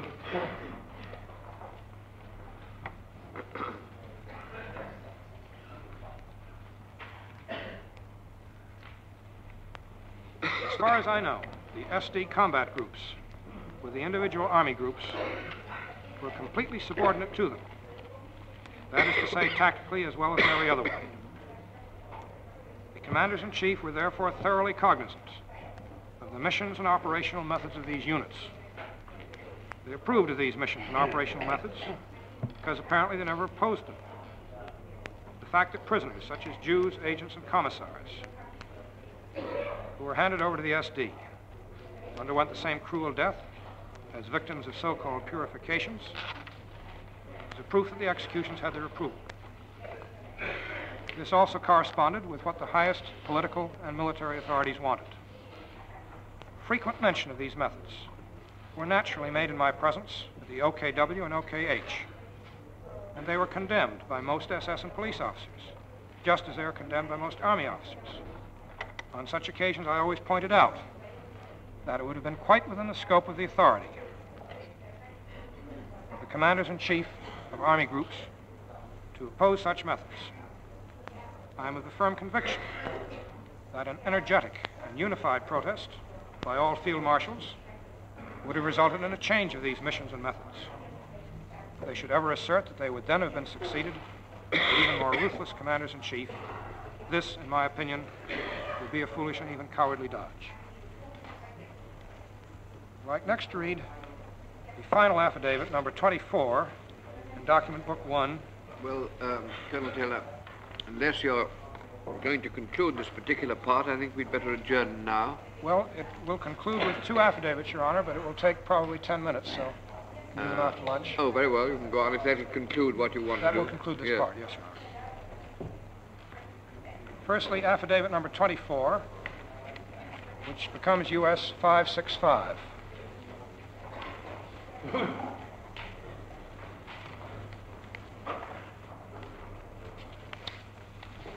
This is by Colonel Boguslav von Bonin,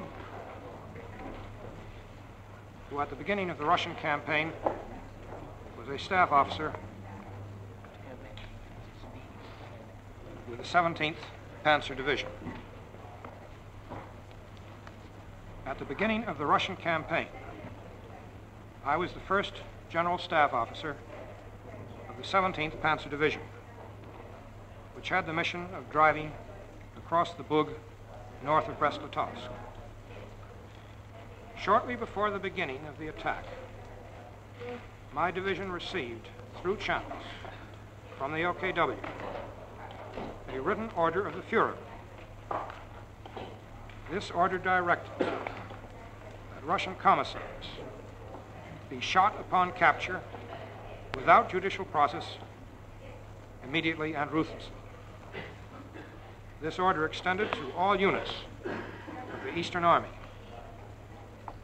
Although the order was supposed to be relayed to companies, commanding general of the 37th Panzer Corps General of Panzer Troops Lemelsen, forbade its being passed on to the troops because it appeared unacceptable to him from military and moral points of view.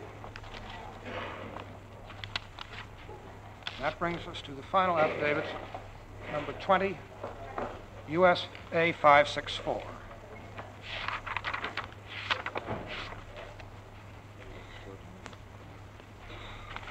Which is by Adolf, Adolf Heusinger. He was a Generalleutnant What was the in the number? German army. What was the number? Oh, it's number 20, Your Honor. Number 20. U.S. what? U.S. 564 it becomes. 564. 565. By Adolf Heusinger, a Generalleutnant in the German army, and from 1940 to 1944, chief of the operations section at OKH. I read. One.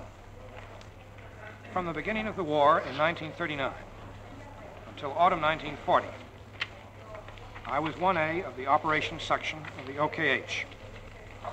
And from autumn 1940 until 20 July 1944, I was chief of that section. When Hitler took over supreme command of the army, he gave to the chief of the general staff of the army the function of advising him on all operational matters in the Russian theater. This made the chief of the general staff of the army responsible for all matters in the operational areas in the east, while the OKW is responsible for all matters outside the operational areas. For instance, all troops, security units, SS units, police, stationed in the Reich commissariats. All police and SS units in the Reich commissariats were also subordinate to the Reichsfuhrer SS. When it was necessary to transfer such units into operational areas, this had to be done by order of the chief, the OKW. On the other hand, corresponding transfers from the front to the rear were ordered by the OKW with the concurrence of the Chief of the General Staff of the Army. The high SS and police leaders normally had command of operations against partisans. If stronger Army units were committed, together with the SS and police units within operational areas, a high commander of the Army could be designated commander of the operation. During anti-partisan operations within operational areas, all forces committed for these operations were under the command of the respective commander-in-chief of the Army Group. Directives as to the manner and methods of carrying on counterpartisan operations were issued by the OKW, titled to the OKH upon orders from Hitler and after consultation with Himmler. The OKH was responsible merely for the transmission of these orders to army groups. For instance, such orders as those concerning the treatment to be accorded commissars and communists, those concerning the manner of prosecuting by courts martial army personnel who committed offenses against the population, as well as those establishing the basic principles governing reprisals against the inhabitants. Three, the detailed working out of all matters involving the treatment of the local populace, as well as anti-partisan warfare in operational areas, in pursuance of orders from the OKW, was the responsibility of the General Quartermaster of the OKH. Four, it had always been my personal opinion that the treatment of the civilian population and the methods of anti-partisan warfare in operational areas presented the highest political and military leaders with a welcomed opportunity of carrying out their plans, namely, the systematic extermination of Slavism and Jewry. Entirely independent of this, I always regarded these cruel methods as military insanity because they only helped to make combat against the enemy unnecessarily more difficult.